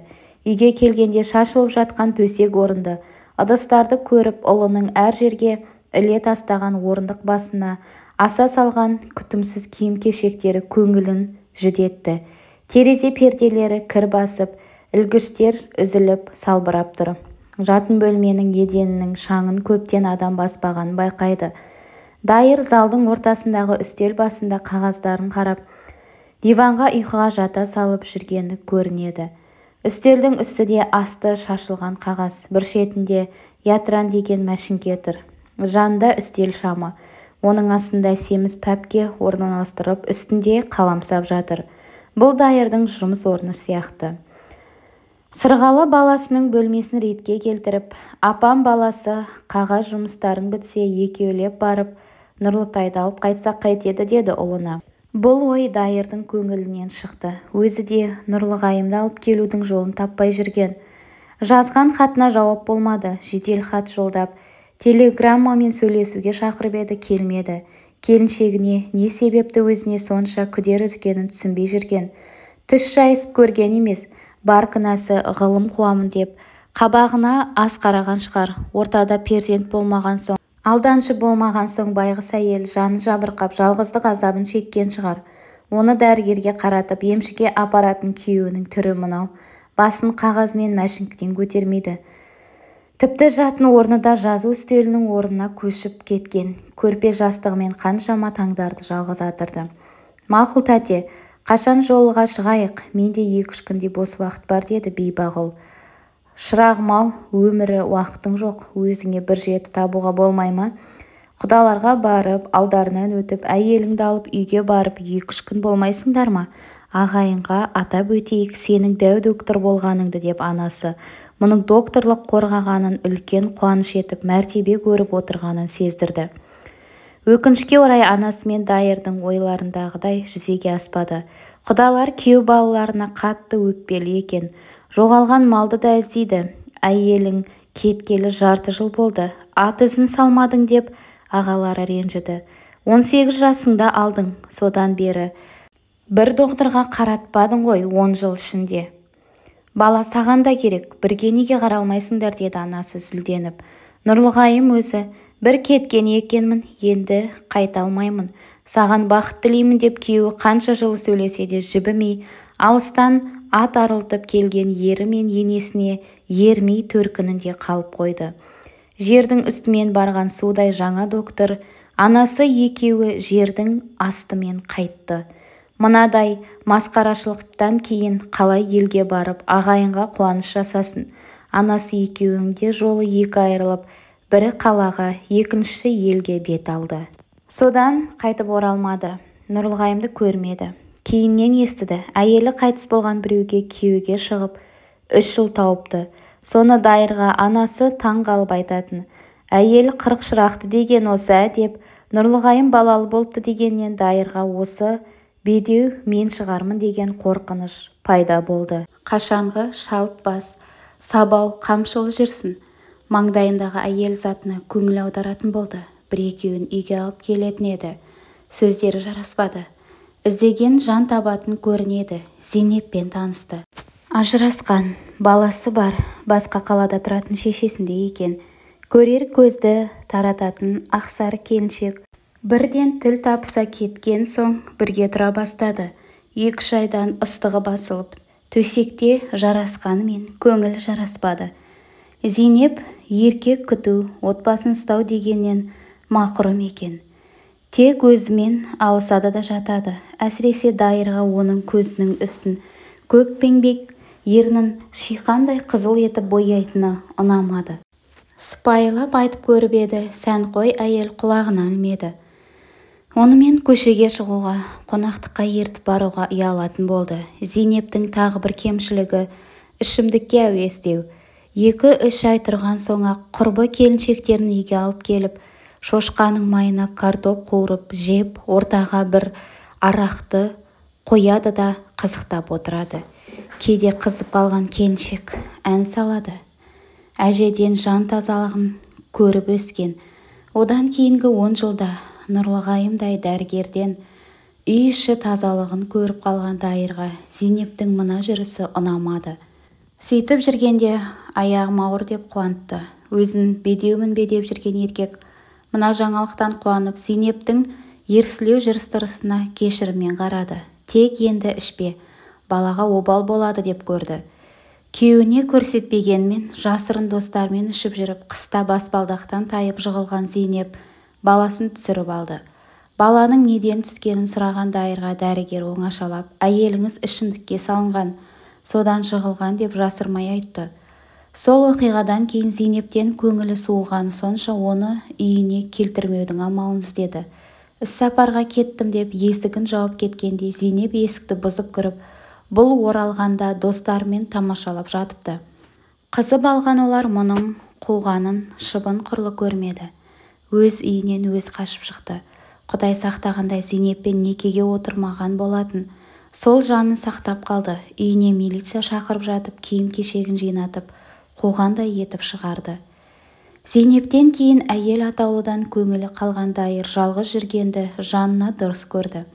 Қаншама достары әріптестері туыстары қыздарымен жалғызбасты әйелдермен тіпті күйеуі өлген жібі түзу деген әйелдермен де таныстырды. Ешқайсысына көңілі аумады ешкімге сенбеді. Өзімнің көңілім сүйсе енді үйленбеспін деп ешкімге тоқтады. Бар күшін қызметі мен ғылымына салып ұзақ жылдар жалғыздықты серік етті. Демалыстарын шет ел аралап ел танып жер тауынымен өткізіп жүрді. Жасының қырықтың үстіне шығып кеткенін байқамай да қалыпты жалғыздық құдайға ғана жарасқан апам баласы деген анасы елге барған сайын жанары жасаурап шығып салатын. Өзі де жалғыздықтан жалықпады дейсің бе? Басында баспанасы бар. Атағы дардай ақшасы қалтасын толтыратындай болғанмен жаны жүдеу көңілі жарым. Құрдастарының алды баласын үйлендіре бастады. Солардың тойына шақыруға қалғанда жаны жасып ұяттан бетін басып қалады. Өзін ешкім жоқтай ешкімге керек еместей сезінетін болып жүрді. Сол айтпақшы әсемді ойда жоқта кездестірді. Білім туралы заң жасауға қатысып жүріп министрлікте көрді. Қарақаттай көзі әрдайым күлімдеп маңдай жарқыраған осы қызды алғаш көргенде бұрын бір жерде кездескендей болды. Жұмыс барысында тілдескенде ол жанына сондай жақын көрінеді жүрегіне сондай қуаныш ұялатты. Көргісі келе беретін болды. Сол үшін кейде түкке тұрмайтын нәрсені сылтауратып министрлікке барып қайтатын. Онда шаруасы болмаса да оның кабинеті орналасқан қабаттың холлында жүретін. Заң жасаушылармен кездесуін де сол қабатта белгілейтін.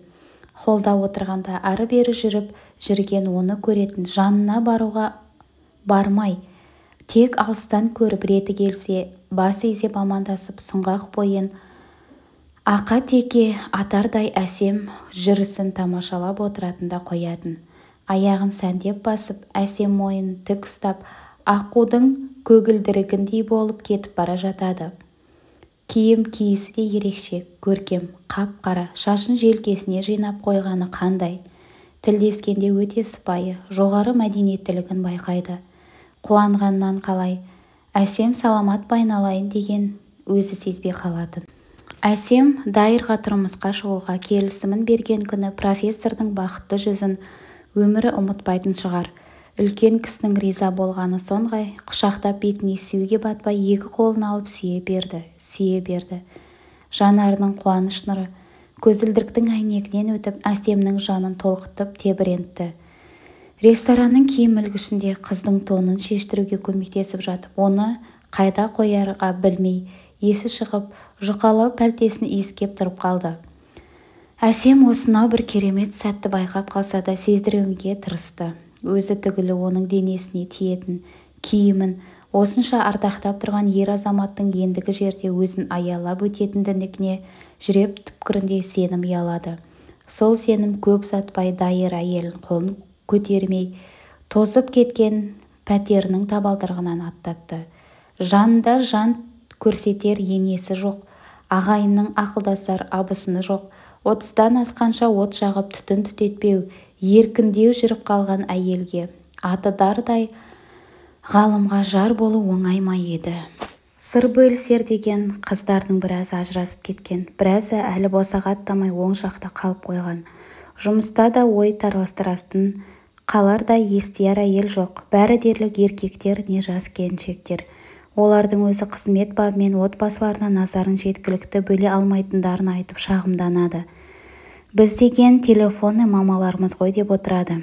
Шындығында да қайсысын көрсең телефон арқылы ояндың ба тамағыңды іштің бе сабағыңды оқы далаға жарты сағатқа ғана шығып жоғалып кетпе бағдаршамнан байқап өт деп балалармен тіл қатысып жатады. Әсемнің өзіне жақсы жар болуға тырысып жүргенін байқап ұстаздық жаратылысымен дайыр отбасылық лекция оқып жіберетін кездері де бар. Қанша дегенмен бір мүшелден артық кішілігі бар келіншегіне күйеуінің айтқандары көптік етпейтінін өзінің өмірлік бақыттарына бейімдеу үшін қайта осы сырласудың қажеті екенін ішкі түйсігімен сезіп те отыратын. Сүйіспеншіліктің үш түрі болады. Біріншісі өзімшіл сүйіспеншілік. Ол атынан көрініп тұрғандай тек өзіне өзінің жақын туыстарына ғана берілетін сүйіспеншілік. Ол шам сияқты жарығы өз маңайындағылардан аспайды. Екіншісі өзара сүйіспеншілік. Сен маған мен саған деген сүйіспеншілік. Ол ай сияқты. Түнде бар күндіз жоқ. Сенен ықылас болса ғана одан қайырым болады. Бәрі есеппен. Үшіншісі ортақ сүйіспеншілік. Ол күн сияқты. Жер бетіндегілердің бәріне жарығы түсіп мейірімі бөліп тұрады. Қолдан келсе ортақ сүйіспеншілікке бөленіп жұртты да мейіріміне бөлеп жүргеніне не жетсін деп бір қоятын. Одан адам рухани билікті де жетудің жолдарын түсіндіреді. Жайсаңдай көркем де от құшақты жігіттен көңілі қалып еркек аталудан шошынып жүрген әсемді дайыр өзінше бір бейіріммен өзінше бір махаббатпен аялады. Бұрын әйел сезімі әйел тіршілігі деген оған бір тұңғиықтай тіпті қорқынышты көрінетін. Нұрлығайыммен неке қиып бір отбасында он жылдан артық тұрды деген аты болмаса ғылым іздеп көшіп қонып жүріп төсек рахаты сезім ләззаты дегенді тыншытпапты да байғұс қызды алдымен әжесін бақтырып одан қалаға алып келіп үйін күзеттіріп қойғандай болып арының азаптайтыны бар ойына алса отбасы дегенде отқа да суға да түсетін бәріне төзетін қазақ әйелдерінің шыдамдылығы мен нұрлығайым кеткенінше сыр бермеді ғой. Тіпті мұны кінәлап ауыр сөз айтып тіл де тигізген емес. Бар кінәні өзінің бала таппағанына артып өзін жазықты етіп кете барды. Қорғансыз жандай болған қайран нұрлығайым деп кейде еске алатыны бар дайырдың. Әжесі айтпақшы ала жомарт қой. Бір есікті жапса екіншісі есікті ашады. Әйел қырық шырақты деп нұрлығайым 18 жасынан қосылған дайырдан айрылғанымен басқа еркектен бақыт тауып перзенттер сүйіп ақар-шақар отбасына айналыпты. Мейлі бақытты болсыншы. Мен жас өмірін сеніп тапсырып келген байғұсқа не қызық көрсеттім. Бес жыл әжемді бағытып жар төсегінде жалғыз жатып қара шаңырақта жүрді. Одан кейін ғылым іздеп елден ел кезіп жүргенде өз отауын түзетті. Жолдан келсе ыстық тамағы әзір сыртқа шықса киімі таза. Ал зейнеп деген әйелмен тұрған жылдары есіне түссе төбе шашы тік тұрады. Қалай ғана қатынсыз қанша көзім қарайса да соншалық төмендеп арақ ішіп темекі тартатын әйелдің қойнына бардым. Өз нәпсімнің құлы болып жүрген әйелге деп іштей ұяттан өртеніп кетеді. Әсемсіз бұрын қалай өмір сүргенмін деп ойлап қояды. Кейде келіншегін соншалықты жақсы көріп кетіп әсемнің жан тазалығы қай тапқырыққа сөйлессең де көп білетіні. Жас болса да асып саспайтын сабырлы мінезі дайырды жар таңдаудан осы жолы адаспағанын дәлелдегендей. Таңертең табалдырық түбіне маңдайынан сүйіп шығарып салып кешке қарай жұмыстан үйге оралғанша асығады. Бақыт деген осы шығар. Күні бойы сағынып келіншегі ақтарыла күлетін күлкісімен көз алдында тұрады да қояды. Есіне алса жүрегі елжіреп жан дүниесі еріп қоя береді. Өмірдегі басты мәселе әсемнің қуанғаны. Соны қайтсем де қуантамын күлдіремін деп ойлайды да жүреді. Оның алдында өзін керемет етіп көрсеткісі келеді. Жер басып тұрып жүрсем жарымды ештеңеден тарықтырмаспын ешкімнен кем етпеспін деп армандайды. Махаббат деген осы шығар. Дайыр ақ адал ниетіне берді ме? Күздің бір жайма-шуақ кезінде әсем шаңырағына сүйінші хабар алып келді. Отыздан орталағанша ана болу бақытын армандаған. Оған гинеколог дәрігер сізде жүктілік бар. Төрт аптадан асқан деген қуанышты жаңалықты айтқанда сенер-сенбесін білмей қайталап сұрады. Әрине сізді түсінем. Бұл ұзақ күткен қуанышыңыз. Енді өзіңізді сақтаңыз дегенде барып жанары боталап қоя берді. Содан жұмыстан келгенде де көңілі алып ұшып күнді батыра алмай қойды. Күткенде уақыттың өтпейтіні бар емес пе? Дайыр қуанышқа асыққанмен бірден айта алмай кеш батқанша тағы күтті. Тіпті қалай айтуды ойлап тағы толғанды. Жатын бөлмеде ғана әсем өзінің екі қабат екеуін күйеуіне ұяла ұяла отырып жеткізді. Екеу ара құрмет пен қадірден жұлдыз атты қыз дүниеге келді. Жер ортада тілеп алған жалғыз перзенттері әлжуаздау болып туылды.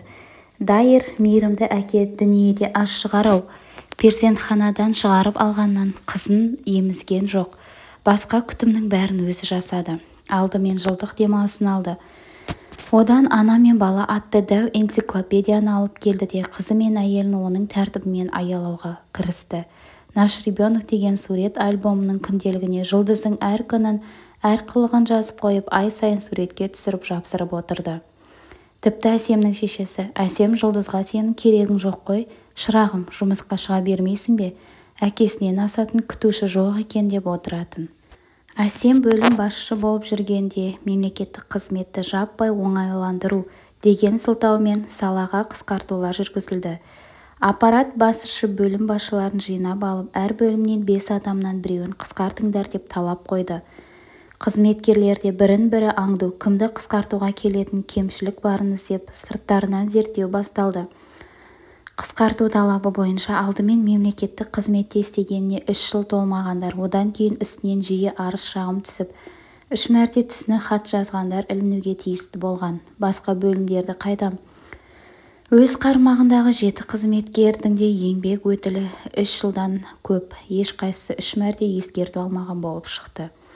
Сонда да біреуін қысқартасың деп бастығы талап қойды. Бұл жерге қызметке кіру қиын ал бір орналасып алған адам өлмей орын бермейді. Бастығы да күн сайынғы таңертеңгілік лездемеде қалқылдап қоймайды. Жеті адамның жеке парағындағы өмір баяндарын жаттап алды дейтіндей болды. Жұмыс аяғында бастығы шақырады. Пәпкіге салған жеке парақтарын құшақтап үшінші қабатқа көтеріледі. Не болды әсем тек сен қалдың қысқарту тізімін ұсынбаған деп зілдене дауыспен өздерін сырттан тәшөк атап кеткен тапал қара аппарат басшысы үстелінен басталатын көк кілемнің екінші басында тұрған әсемнің қысқартатын ешкім жоқ бәрі заң шеңберінде жұмыс жасап жатыр дегенінен жарты сөзін естімей-ақ басшы. Неге ешкім жоқ? Әкел бері қызметтік жеке парақтарды. Отыр мұнда деп даусын көтеріп саусағымен жанындағы орындықтан ұстап шақырып алды. Әсем аяғын санап басып жақындап пәпкідегі қағаздарын үстелге жайып салып мынау кім? Байгереева дейді. Батыр бесбайұлы ол жалғыз басты ана. Оны баласы 14-ке толғанша қысқартуға болмайды заң бойынша. Бастығы заң десе қатып қалған педант үндемей қалды. Ал мынау ше ал мынау ше? Әрқайсысының заң шеңберінде ақтау тауып ең соңында елуден асқан мемлекеттік қызметте жиырма жылдан артық еңбек өтілі бар. Орталарындағы үлкендері гүлдәрі жексен қызына кезек келді. Ал мынау ше? деді бастық бірдеңке көргендей одан да ешбір себеп таппай отырмын қысқартуға. Өмір бойы мемлекеттік қызметте төрт баласы жолдасы бар деп келе жатыр еді бастық. Білем бұл ана ахметовтың әйелі ғой мүйізі қарғадай күйеуі бар балалары өскен. Қысқарып үйіне отыра берсе ештеңе жоғалтпайды деді. Ол кісі зейнетке осы жерден кетем деп жүр. Ешбір алған ескерту жоқ ортада сыйлы адам деді әсем. Осыны қысқарт түсіндір ағамыз бар асырайтын. Балалары білім алып қызметте жүр. Жастарға орын берсін деп әсемді кабинетінен шығарып жіберді. Мүйізі қарғадай күйеу болып балалары өскені үшін жазаланып қысқарып үйіне отыруға тиісті гүлдәрі жексен қызына мына суық хабарды қалай жеткізерін білмей лифтіге мінбей жеті қабаттағы баспалдақты санап жаяу жүріп келеді. Бүгін айтпай-ақ қояйын ертеңге дейін бірдеңке ойлап табармын деп кабинетіне келіп сырт киімдерін алып үйіне қайтты. Үйінде де гүлдәрі жексен қызын ойлап мазасы болмады. Басқа бөлімдегі басшы достарымен сөйлесіп көріп еді олардан бас көздемей қысқарту тізімін жақсылап жатыр екен. Қысқарғандарға төрт ай көлемінде қақы беріледі солардың қысқартқан адамдарына қарсы бәрі заң шеңберінде. Жиырма екі қабаттағы әріптестерін түгендеп шыққандай болып түнімен мемлекеттік қызметкерлердің бәрі дерлік үйленбей сұр бойдақ жігіттер мен қырық пен отыздан арасында отырып қалған кәрі қыздар. Қырықтан асқандарының көбі некесіз бала туған жалғыз басты аналар біздің елде оларға заң жүзінде көп еркіндік берілген. Үй кезегінің басында жалғыз басты аналар мемлекеттік қызметкерлерге берілетін он саттық жер кезегінің басында жалғыз басты аналар қысқартуға жатпайтындардың алғашқы легінде жалғыз басты аналар балабақша кезегінің басында жалғыз басты аналар материалдық көмекте де жалғыз басты аналар еңбек демалысының алдымен жалғыз басты аналар алады. Бәрі-бәрі соларға арналғандай. Ал күйеуі өлген не ажырасқан аналар жалғызбасты аналар мәртебесін ала алмайды. Себебі олардың балалары некеде толған. Ондай ана жалғыз өзі үш перзент бағып отырса да ешқандай жеңілдік көрмейді. Неге? Балалардың әкесі болғаны үшін кінәлі ме? Ал төрт баланы ақ адал жарымен туып оны елге керек азамат етіп өсіргені үшін гүлдәрі жексен қызы неге жазықты болып қысқарғалы отыр? Қанша қашса да гүлдәрі жексен қызын шақырып алып сөйлесуге қаралы хабарды ескертуге тура келді. Бастығы түске дейін тізім бер кешке қарай қысқартатындарды жинап хабарлаймыз деген. Гүлдәрі жексен қызы бөлім басшысының хабарламасын жаймен тыңдап отырды да. Сонда мен отбасында бақытты болғаным үшін жұмыстан қысқарып отырсыңдар ма? Мемлекеттік қызмет деген отбасы жоқ жалғыз басты адамдар күн түн демей машина айналып қызмет ететін жері дегені ме? Мақтамен бауыздау деген осы шығар. Әсем не жауап қайтарарын білмей әйелдің сабырлы да салиқалы жүзіне көзі түскенде өзі ұяттан өртеніп кетті. Құдды анасына ұқсап мұның жүзіне байыппен қарап отыр. Әйелдердің бақытты бақытсыз екенін жүзінен-ақ білемін. Отбасында бақытты жан жүзі нұрлы. Адамға мейіріммен өз жанарына баласына қарағандай қарайды. Сорлы әйел қашан көрсең тырысып түкке тұрмас сөзді қуырып ұрсып жүреді дейтін күйеуінің сөзіне. Есіне түсті. Мынау нұрлы жанар мен мейірімді жүзді көріп тіл қатуға сөз таппай ұялғаннан терезеден сыртқа қарады. Менің сұрағым бар деді. Жұрт жапырлай терезеге жақын отырған әріптестеріне қарай қалды. Ол қандай сұрақ деп кеңес төрағасы жақтырмаған дауыспен шаңқ ете түсті. Айттым бітті шештім кесті деп масайрап отырған адам әйелдің сұрағын алдын ала қағып тастағысы келгендей тіксініп менің үй ішін бекерден-бекер қысқартып жатқандарыңызды түсінбедім. Менен кейін келіп өтілі үш жыл толмағандар бар. Солар қысқармай неге мен қысқаруым керек? Асқар жәрдемұлы деп гүлдәрі жексен қызы тайсалмай аппарат жетекшісіне қарап тұрды. Осыған менің қатысым жоқ дегендей шеттеп отырған басшы аты-жөні айтылғанда от басып алғандай гүлдәрі жексенқызы мұны неге менен сұрайсыз? Бөлім басшыңыз сізді ұсынды. Кәне әсем жұмашқыжы неге дәл осы кісіні қысқартып жіберуді айтып отырсыз? деп кінәні әсемге аудара салды. Әсем кеше ғана аппарат басшысы екеуі екі жақтап жексенова қысқарсын деп шешкендерінен бүгін тайып отырған екі жүзділігіне қайран қалды. Таңданғандай асқар жәрдемұлының бетіне сәл қарап қалып еді екеуі шыжбалақтап. Әсем жұмасқызы бөлім басшысы сіз мамандарыңызға өзіңіз жауап бересіз деп сызданып тіл қатты. Бұл қитұрқы істен мен адаммын дегендей. Әсем бөлімдегі бас-аяғы алты адамның үшеуі жалғыз бастана. Бір еркектің бес баласы бар. Отбасының асыраушысы екінші еркектің әйелі ауру. Жұмыс істемейді ол да отбасын асыраушы. Өзім бөлім басшысы екендігін баяулап айтып шықты. Аппарат бойынша бірінші алтыншы адам қысқартуға тиісті болған гүлдәрі жексеноваға түсіп тұр деді. Мен де төрт баланың анасымын. Оның үстіне зейнетке шығуға үш-ақ жыл уақытым қалды. Неге менің де жағдайыма қарамайсыздар? деді гүлдәрі жексенқызы. Сол кезде кеңес төрағасы сіздің төрт балаңыз да өскен. Оның үстіне күйеуіңіз де қызмет істейді. Отбасы жағдайыңыз жақсы екеніне шүкір деңіз қалай біз отбасын асыраушы болып отырғандарды қысқартамыз. Сізге төрт айлық үстеме береміз деп жерден жеті қоян тапқандай болып ақшаны өзі жарылқап қалтасынан төлейтіндей оған қосыла басқа да бір бөлімнің басшысы жалғызбасты әйел гүлдәрі жексенқызы за счастье тоже надо платить деп білгіштеніп реплика тастады шаңқылдаған үнімен. Сол-ақ екен гүлдәрі жексенқызы орнынан атып тұрып сонда мен отбасында бақытты болғаным үшін жұмыстан қысқартып отырсыздар ма? Мемлекеттік қызмет деген жалғызбасты әйелдер мен отбасы жоқ адамдардың қызмет ететін жері болғаны ма? Күйеуге тиіп бала туғаным үшін жазықтымын ба? Одан да ана байсыз баласы жүргендерге неге мені үлгі етпейсіздер? Осы жасыма дейін жарсиып бала туып ене бағып ол балаларды оқытып үлгердім.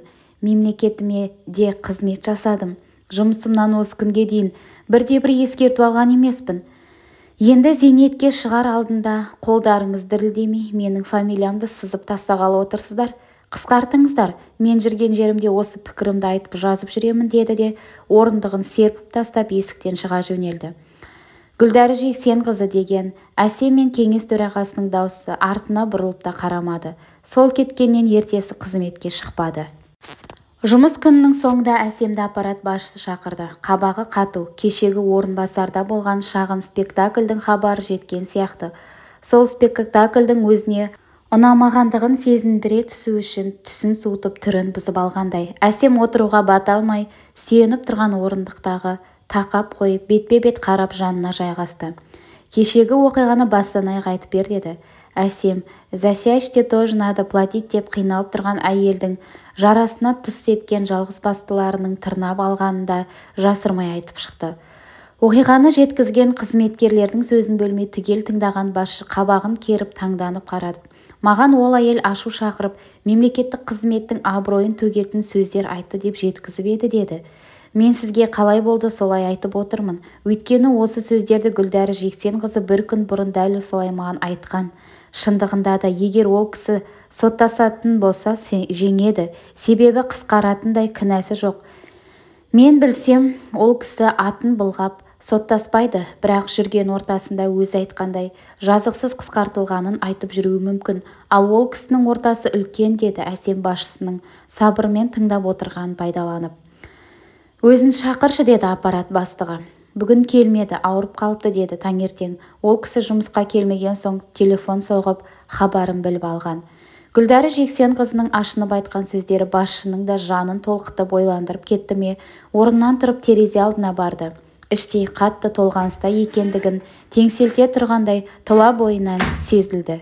Аздан соң әсемге бұрылып жұмысқа шыққанда маған кірсін деді. Қысқарту туралы тақылымдап ештеңе айтпағанына қуанған бөлім басшысы дереу есікке қарай бет алды. Кілең әйелдер бас қосқан ортаның өзіндік ауа райы болады. Әзәзіл пәлеқор зуылдақ қос үйді қоса қондырмайтын деп шешелеріміз айтатындай екі адамның ортасында от салғыш әйелдерді де осы ортаға келіп көрді. Мемлекеттік қызмет істейтіндердің де жазылмаған заңдары өз аралында ғана білетін көрінбейтін өз сатылар болады екен оны да әсемге әйелдер түсіндірді. Солардың айтуынша егер шындық болса жоғарғы сатыда басшылардың жақын туыстары көңілі жақын қыз-келіншектері одан кейін жандайшап жағымпаздар ағылшынның в әрпіне сұқ саусағымен ортадан қолының көрсетіп виктория жеңімпаздар отырады. Мұндағы әйелдер үшін бәрі маңызды. Кім кімнің туысы кімнің күйеуі не әйелі қайда істейді кім қайда өсейін не көшейін деп жатыр. Кім кімнің жерлесі деген сияқты тағы да басқа. Бұлардың көбі соларына қарай әйел бақытын сезінбегендер. Сондықтан олардың жауы өміріне риза күліп жүретін бақытты әйелдер. Жастық шақтарында қағаздардың астында кабинеттердің табалдырығында қалып бара жатқандар өкінішке орай. Ең бірі кереметі өздері сондай көрер көзге көрікті білім таластырғанша кез келген еркекті жеңеді келбеті тастай суық адамдарға жоғарыдан тек қызметті қағаздардың әріптерін көрген сияқты. Біреулер де антипатияға жоғалып алған ал біреулер сол антипатия жек көрушілік сезімі тіпті көп. Біраз өмірлік тәжірибесінен байқағаны ең қауіпті адамдар арандатқыштар мемлекеттік қызметкерлердің тілмен айтқанда интриганттар. Таң ала көлеңкелесімен кіреберісте тұрған телефон безілдеп қоя берді. Жылы төсегінен енді тұрған әсем таң атпастан ол кім болды дегендей қынжыла барып трубканы құлағына тосты. Алло деп үлгермей-ақ екен ар жағындағы әй әсем деген әйел даусы трубканы жарып жібере жаздады. Оқыс ащы дауыс шыққан үннен келіншек қолындағысын лақтыра салатындай шошып шаңқылдаған үн трубка арқылы оның денесінен өтіп әлсіз діріл пайда болды. Даусы да дірілдеп шығып алло бұл кім? деді ар жақта. Әй әсем сен не кісі танымайтын болып кеткенсің бе? деп өзіне кінәлай жөнелді. Оны көріп тұрған жоқ шаңқылдаған үнінен шошып кеткені болмаса дауыс ырғағын ажырата алмай ал шындығында күніне кемінде отыз адам телефонмен хабарласады. Оның қайсы бірінің даусын ажыратады кешіріңіз танымай жатырмын деді. Бойжеткен мен сені танымасаң кім таниды? деп ауылдағы бір кездегі сыныптас досы кейіннен немере ағасына күйеуге шығып жеңеше болған бағым звондап тұр екен. Жеңеше сен бе қайдан таниын? Түріңді көріп тұрмасам таң атпастан бажылдап есімді шығардың өзім ұйқымды аша алмай тұрсам деп әсем жеңешесінің алдында кінәсін жуып сая жөнелді. Күн шыққалы қашан? Сендер қаладағылар ғой. Күн көтерілгенше жата байларыңның қойнында деп дөрекілеу әзілдеді. Тым тереңдетіп жібермесін деп жеңеше тыныштық па деді даусын жұмсартып. Тыныш тыныш ел аман жұрт тыныш үлкен үйдегілер де аманшылықта бізде ағаң екеуміз осы бала-шағаңның қамымен шапқылап жүрміз ғой сенің уақытыңды алмайын жұмысқа баратын шығарсың. Иә алдымен баланы бақшаға байды жұмысқа жібер содан соң өзім зытам деп бағымның өз жаргонымен жауап қайырды. Досының әзіл аралас даусын естіп қуанған бағым. Әсем шаруаға бірден көшейін. Біздің жасын үш жылдан бері сол жақта ғой білесің деп бір тоқтады. Досы не дер екен? дегендей. Иә мерекелерде келіп тұрады. Әлі ол сол жұмысында ма? Бас құрмаймын демей ме? Жоқ қайдағы бас құру басын тығатын баспанасы жоқ суық астаналарыңда сол сен құсап мемлекеттік қызметке тұрғысы келеді.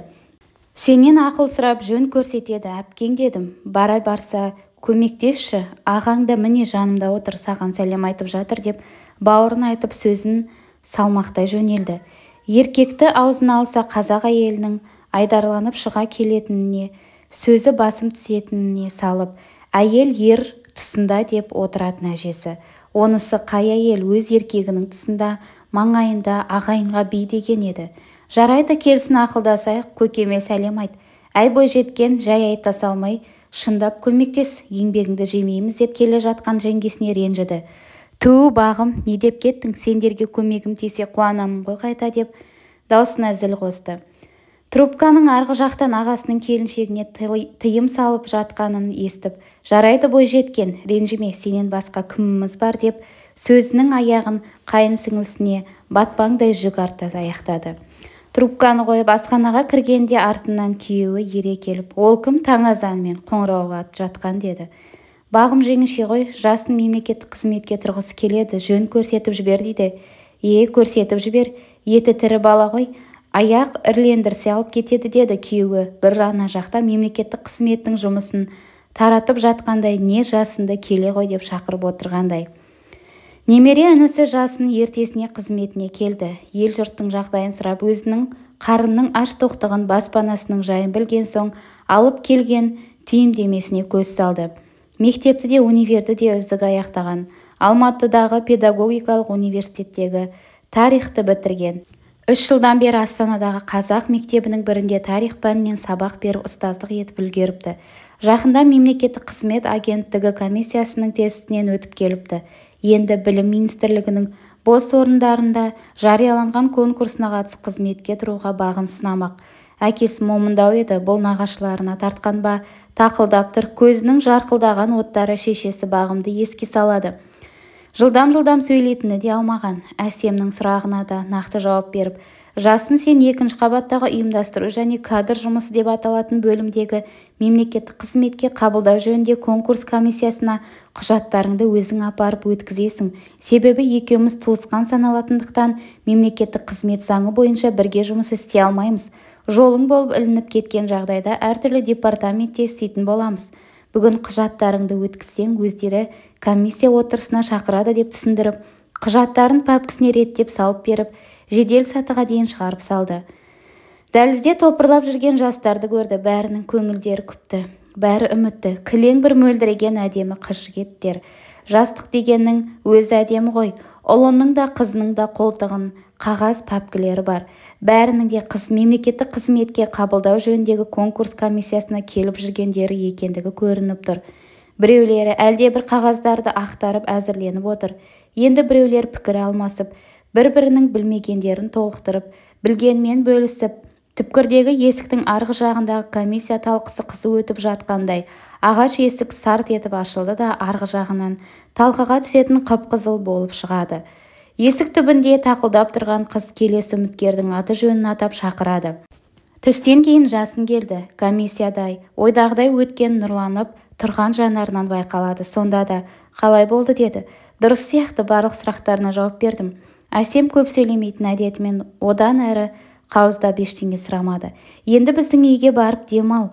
Ауылдан нұржамал апаң келген. Сонымен әңгімелесіп тамағыңды ішіп қайт деп жасынды сыртқа дейін шығарып салды. Бір жетіде уақыт өткенде жасын қайта келді. Бұл жолы басы салбырап онша хошы жоқ. Әлденеге ренжулі екендігін салыңқы қабағынан байқалды. Мемлекеттік қызметке қабылдау жөніндегі конкурс комиссиясы жасынды резервке қалдырыпты. Өткен жылы да осылай резервке қойып күтумен бір жыл өтіп кетіп тағы да тест тапсыруға тура келген көрінеді. Бала әпкесіне соны айтып шағымданды. Осылай үш жылдан бері жүргендер бар екен. Біз таласқан орынға сонда тәжірибеден өтіп жүрген жігітті алыпты. Конкурс жариялаймыз дегендері осылай болып шығады. Өздерінің таныстары сонда істеп тәжірибеден өтіп жүреді де конкурсқа хабарландыру береді. Мен сияқтылар жан-жақтан құжат алып жүгіреміз дайындаламыз. Бәрі бекер деді. Мен осы жолы өйтпес едім деп аузы бұртиып тұр. Жаны жасып жігері қайтып қалған жігітті аяп кетіп шынымен де солай ма екен? Анық-қанығын білейін деп ойлаған әсем жасанды. Мен жағдайды біліп саған хабарласам деп қайтарып жіберді. Алдымен байқау жариялаған бөлімнің шынында жаңа жігіттің істеп жүргені анықталды.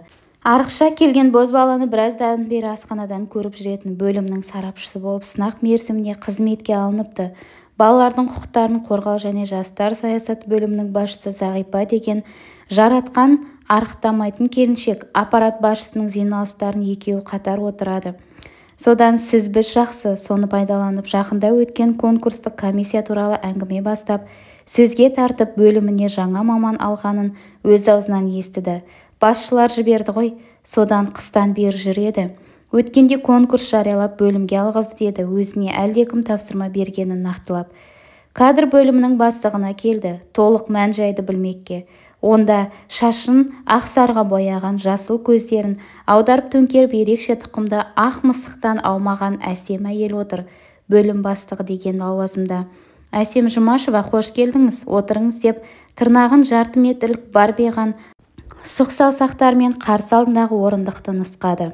Сыпайы амандасқан әсем бірден отыра кетуді жөн көрмей тікесінен тұрып жадыра кимашевна сізден бір мәселе сұрауға келіп едім. Алдымен отырсаңызшы одан кейін айтасың ғой. Әсем орындықтың шетіне жайғасып. Жадыра кимашевна менің білейін дегенім бос мемлекеттік әкімшілік лауазымға орналасуға өткен конкурс жайлы еді.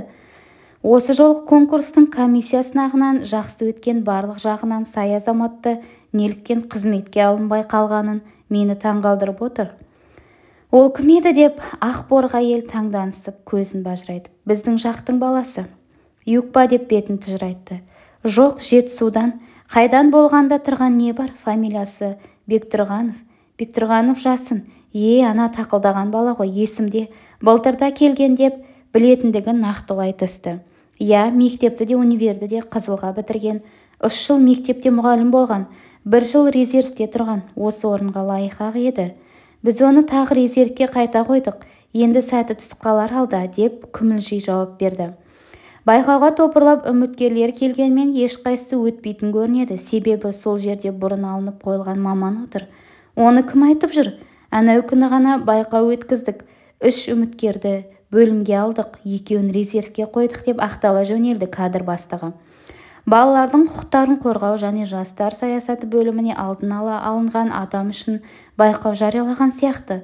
Ең жоғарғы балл жинаған бұйықтырып өтпей тәжірибеде алып жүрген үміткер алыпты. Ондай мәселені басшылар шешеді ғой. Өзің білесің біздікі тек конкурс өткізу деп екі иығын көтерді. Сонда топырлап құжат тапсырып жүрген жастар тек қағазға белгі қою үшін ғана конкурсқа қатыса ма? Сонша үміттеніп келеді. Келсе де орын біреу ғана. Әсем жұмашевна сіз мемлекеттік қызметте бүгін келгенде болып отырғаныңыз не? Конкурс комиссиясында рук аптың орынбасарынан бастап алты адам бақырайтып отыр ғой. Мен қалай бір өзім шешем деп әңгіменің салмағын аулап бара жатқанын сезіп өз терісін қорғай жөнелді.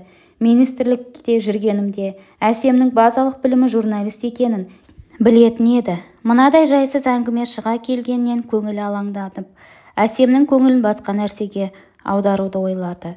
Әсема саған соның керегі не конкурс өткізетін комиссия бар. Шешімін де солар шығарады. Бәрің өзің білесің. Басымызға бәле тілеп қайтесің. Одан да бөлімдеріңнің наурызға әзірлігін айтсаңшы әр бөлім өз өнерін көрсетеді. Әсема не болса да басыңды қатырма. Көп білген зиян деп кадр бастығы әзілдеген болып күлді. Рахмет жадыра кимашевна деп сыртқа шығып асықты. Енді әсемнің журналистік мінезі ұстап конкурс комиссиясының жұмысын әрі қарай зерттеуге кірісіп кетті.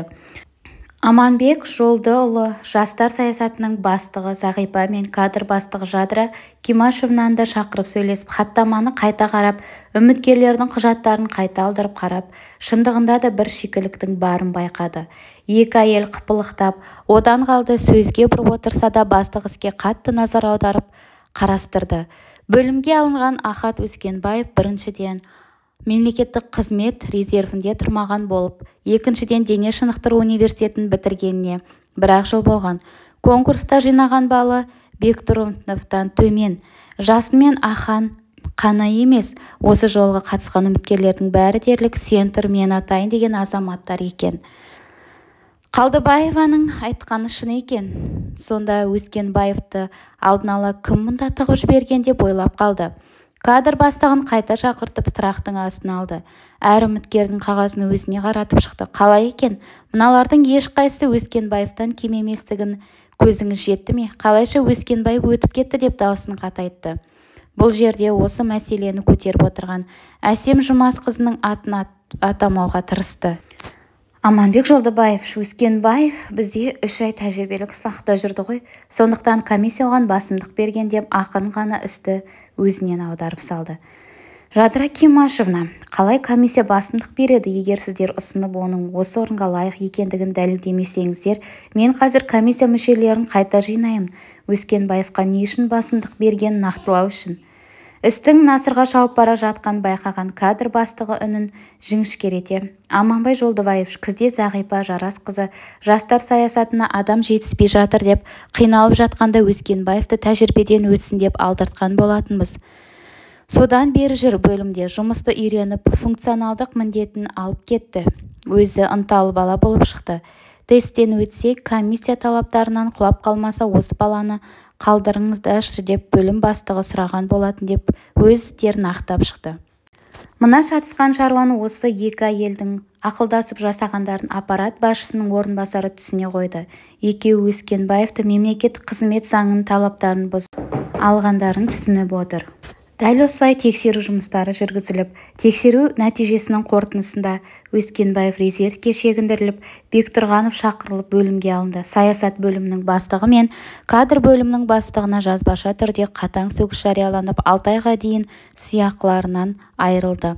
Комиссия төрағалық алып кеткен аманбек жолдыбайұлына ауызша сөгіс жариялады. Әсем аппарат басшысының мына әділетті шешіміне риза болып аманбек жолдыұлына кіріп алғысын білдіріп шықты. Осы жолы бастығы бектұров сенің інің бе? деп сұрады. Жоқ бір топырақтан екеніміз шындық. Менен журналист ретінде әділдік іздеп келген болатын. Сондықтан көмектескім келді деп жауап берді. Мемлекеттік қызметшінің ақиқаты шыншыл болуы оның маңызды моральдық қасиеті болып табылады деген қайда жазылды деді. Мемлекеттік қызметшіге қойылатын этика талаптарында деп әсем нық етіп жауап берді. Сенбі күні қызмет еткен жан жалғыз жексенбідегі демалыстан үйін және алдағы аптадағы киімдерін реттеумен өткізетіні белгілі. Осыдан кейін оның біреумен танысып не табысып кетуге уақыты да болмайды ғой. Жеке басына уақыты жоқ тағдырын ойлауға көңіл күйі де жоқ осы. Адамның қызметтен де басқа жеке өмірі бар емес пе? Осы мәселенің шетін шығарып басқа бөлімнің басшысымен әңгімелесіп көрді. Жазира асанова осы кеш қалып жұмыс істеу деген министрліктер астанаға көшіп келгеннен басталады. Әйтпесе алматыда мұндай жағдай болмайтын. Осында ауысқан алғашқы кездері бәріміз дерлік отбасымызды баспана алып алғанша көшіре алмайтын болып алматыға қалдырып келдік қой. Содан бізді бірге жатақхана мейрамханаларға орналастырды. Күні бой жұмыста болатынбыз да кешке қарай отбасыда жоқ суық бөлмеге барғанша деп қалып жұмысымызды жалғастырып жүрдік. Әрі көші-қонның әсерінен құжаттар да көбейіп көбін жаңаша жасап шынында жұмыстың ұш-қиыры болмай кетті. Содан кейін шетімізден баспана алып отбасыларымызды көшіріп келіп жаттық. Арадан төрт-бес жыл өтіп кетті. Ал кешке қарай түн ортасына дейін жұмыс жасау бізге әдетке айналып жүре берді. Кейбір басшыларға осындай жұмыс тәртібі ұнайтын сияқты деді шынын ақтарып.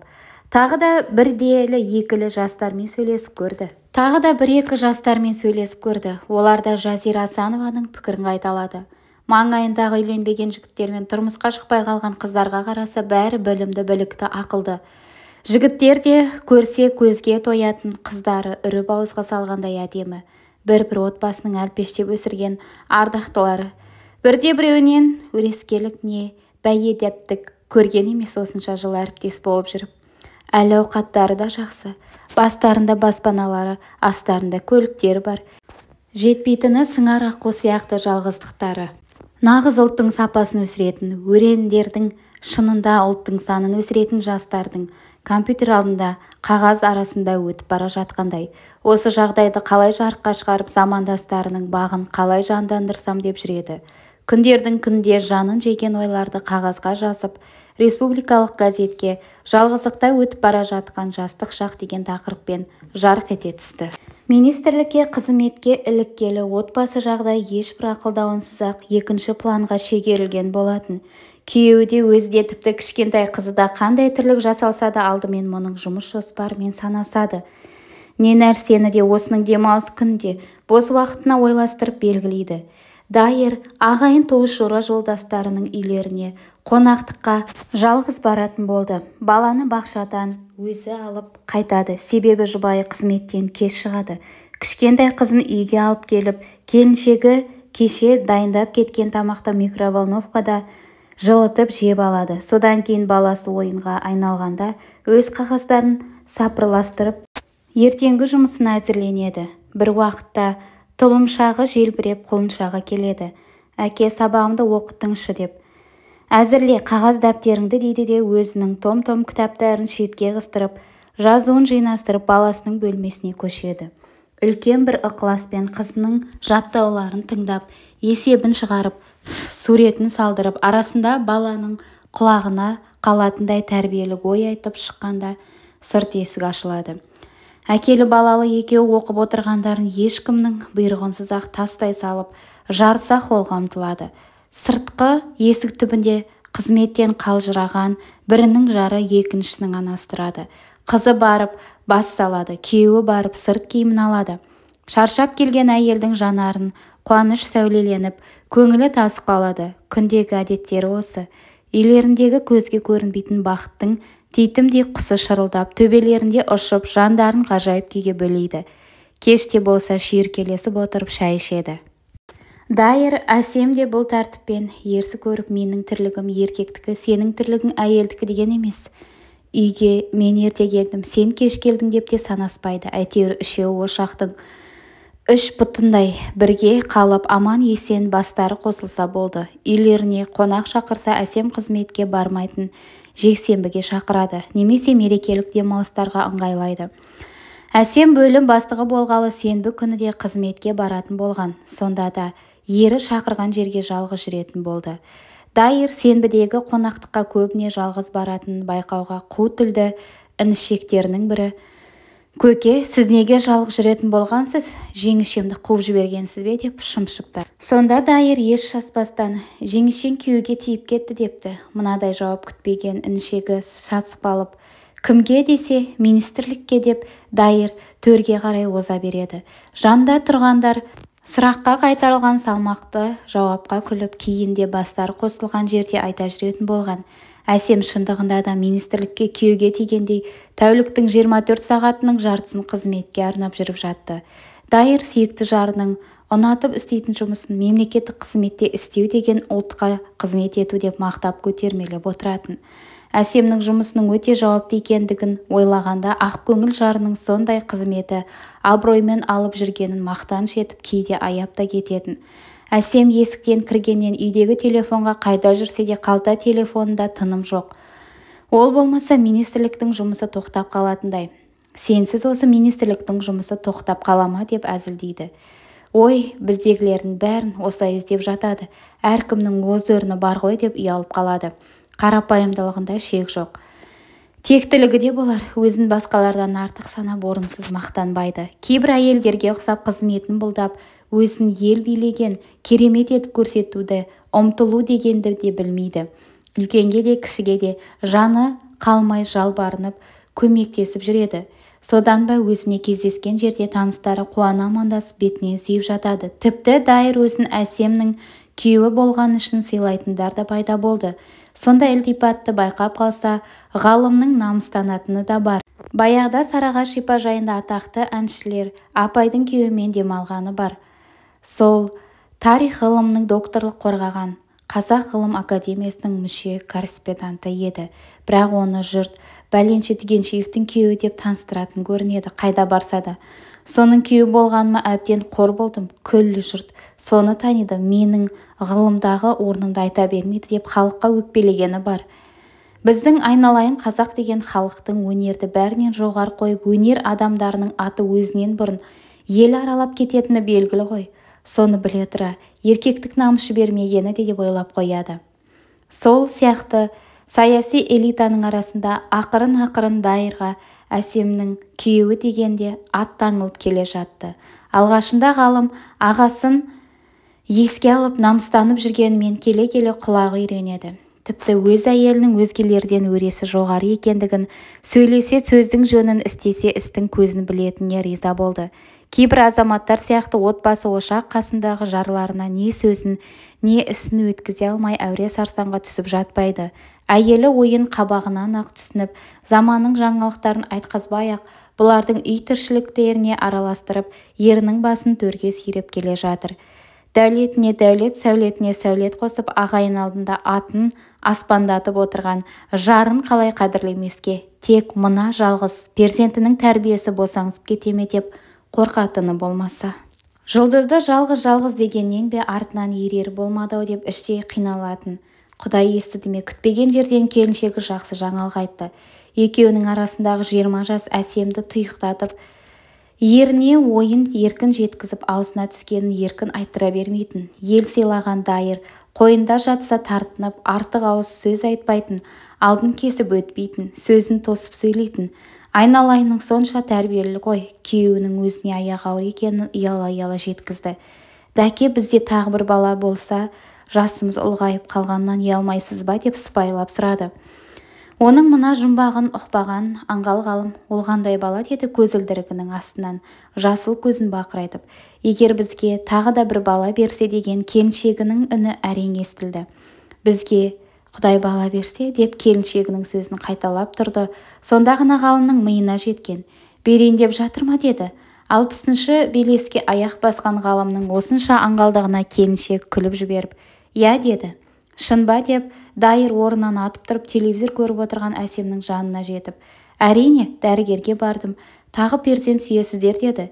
Келіншектің жүзіне қызғылт бояу жүгіріп қарақаттай жанары қуаныш пен бақыттан жасаурап тұрды. Терезеден түскен ай сәулесі оның тұлғасын сыңғақтаттырып жүзін нұрландырып жібергендей. Үстіндегі жібек желеңі дене мүшелерін сыртынан айқындатып көрсетіп еркекті өзіне тарта түсті. Күйеуі қатты қуанды жанында жақындаған жарының белінен орай тесерлеп отыра кетті. Дайыр маңдайын әжім торлай басқан көздерінен ағылған ыстық жастан көзілдірігі буланып бара жатты. Өзі үш атадан жалғыз болып келе жатқан дайыр осы жалғыз қызбен тұқым үзілер ме екен деп кейде іштей ойланса қапаланып қалушы еді. Енді жұлдызының соңынан ілессе ғой деді. Қазақша контентті қолдап арнама тіркелуді ұмытпаңыздар. Және де менің каналыма кірген кезде осы жерде плейсти деген бөлім бар. Осы плейсти бөлімінде өздеріңізге қызықты жаңағы ақпараттарды ала аласыздар. Мысалы қазақша әңгімелер жинағы бар аудиокітаптар бар нақыл сөздер бар қызықты мәліметтер үйлеріңізге қажетті пайдалы кеңестер бар қазақша рецепттер қолөнер бар. Осы жерге кіріп өзіңізге қызықты ақпараттарды ала аласыздар. Мысалы қазақша әңгімелер аудиокітаптарды тыңдағыңыз келсе осы жерге кіріп осылай өзіңізге ұнаған өзіңіздің жасыңызға сай әңгімелерді тыңдай аласыздар. Барлығы өмірден алынған болған оқиғалар. Сондықтан менің каналыма тіркеліп қазақша контентті қолдап отырыңыздар. Жүз мың оқырманға жетейік.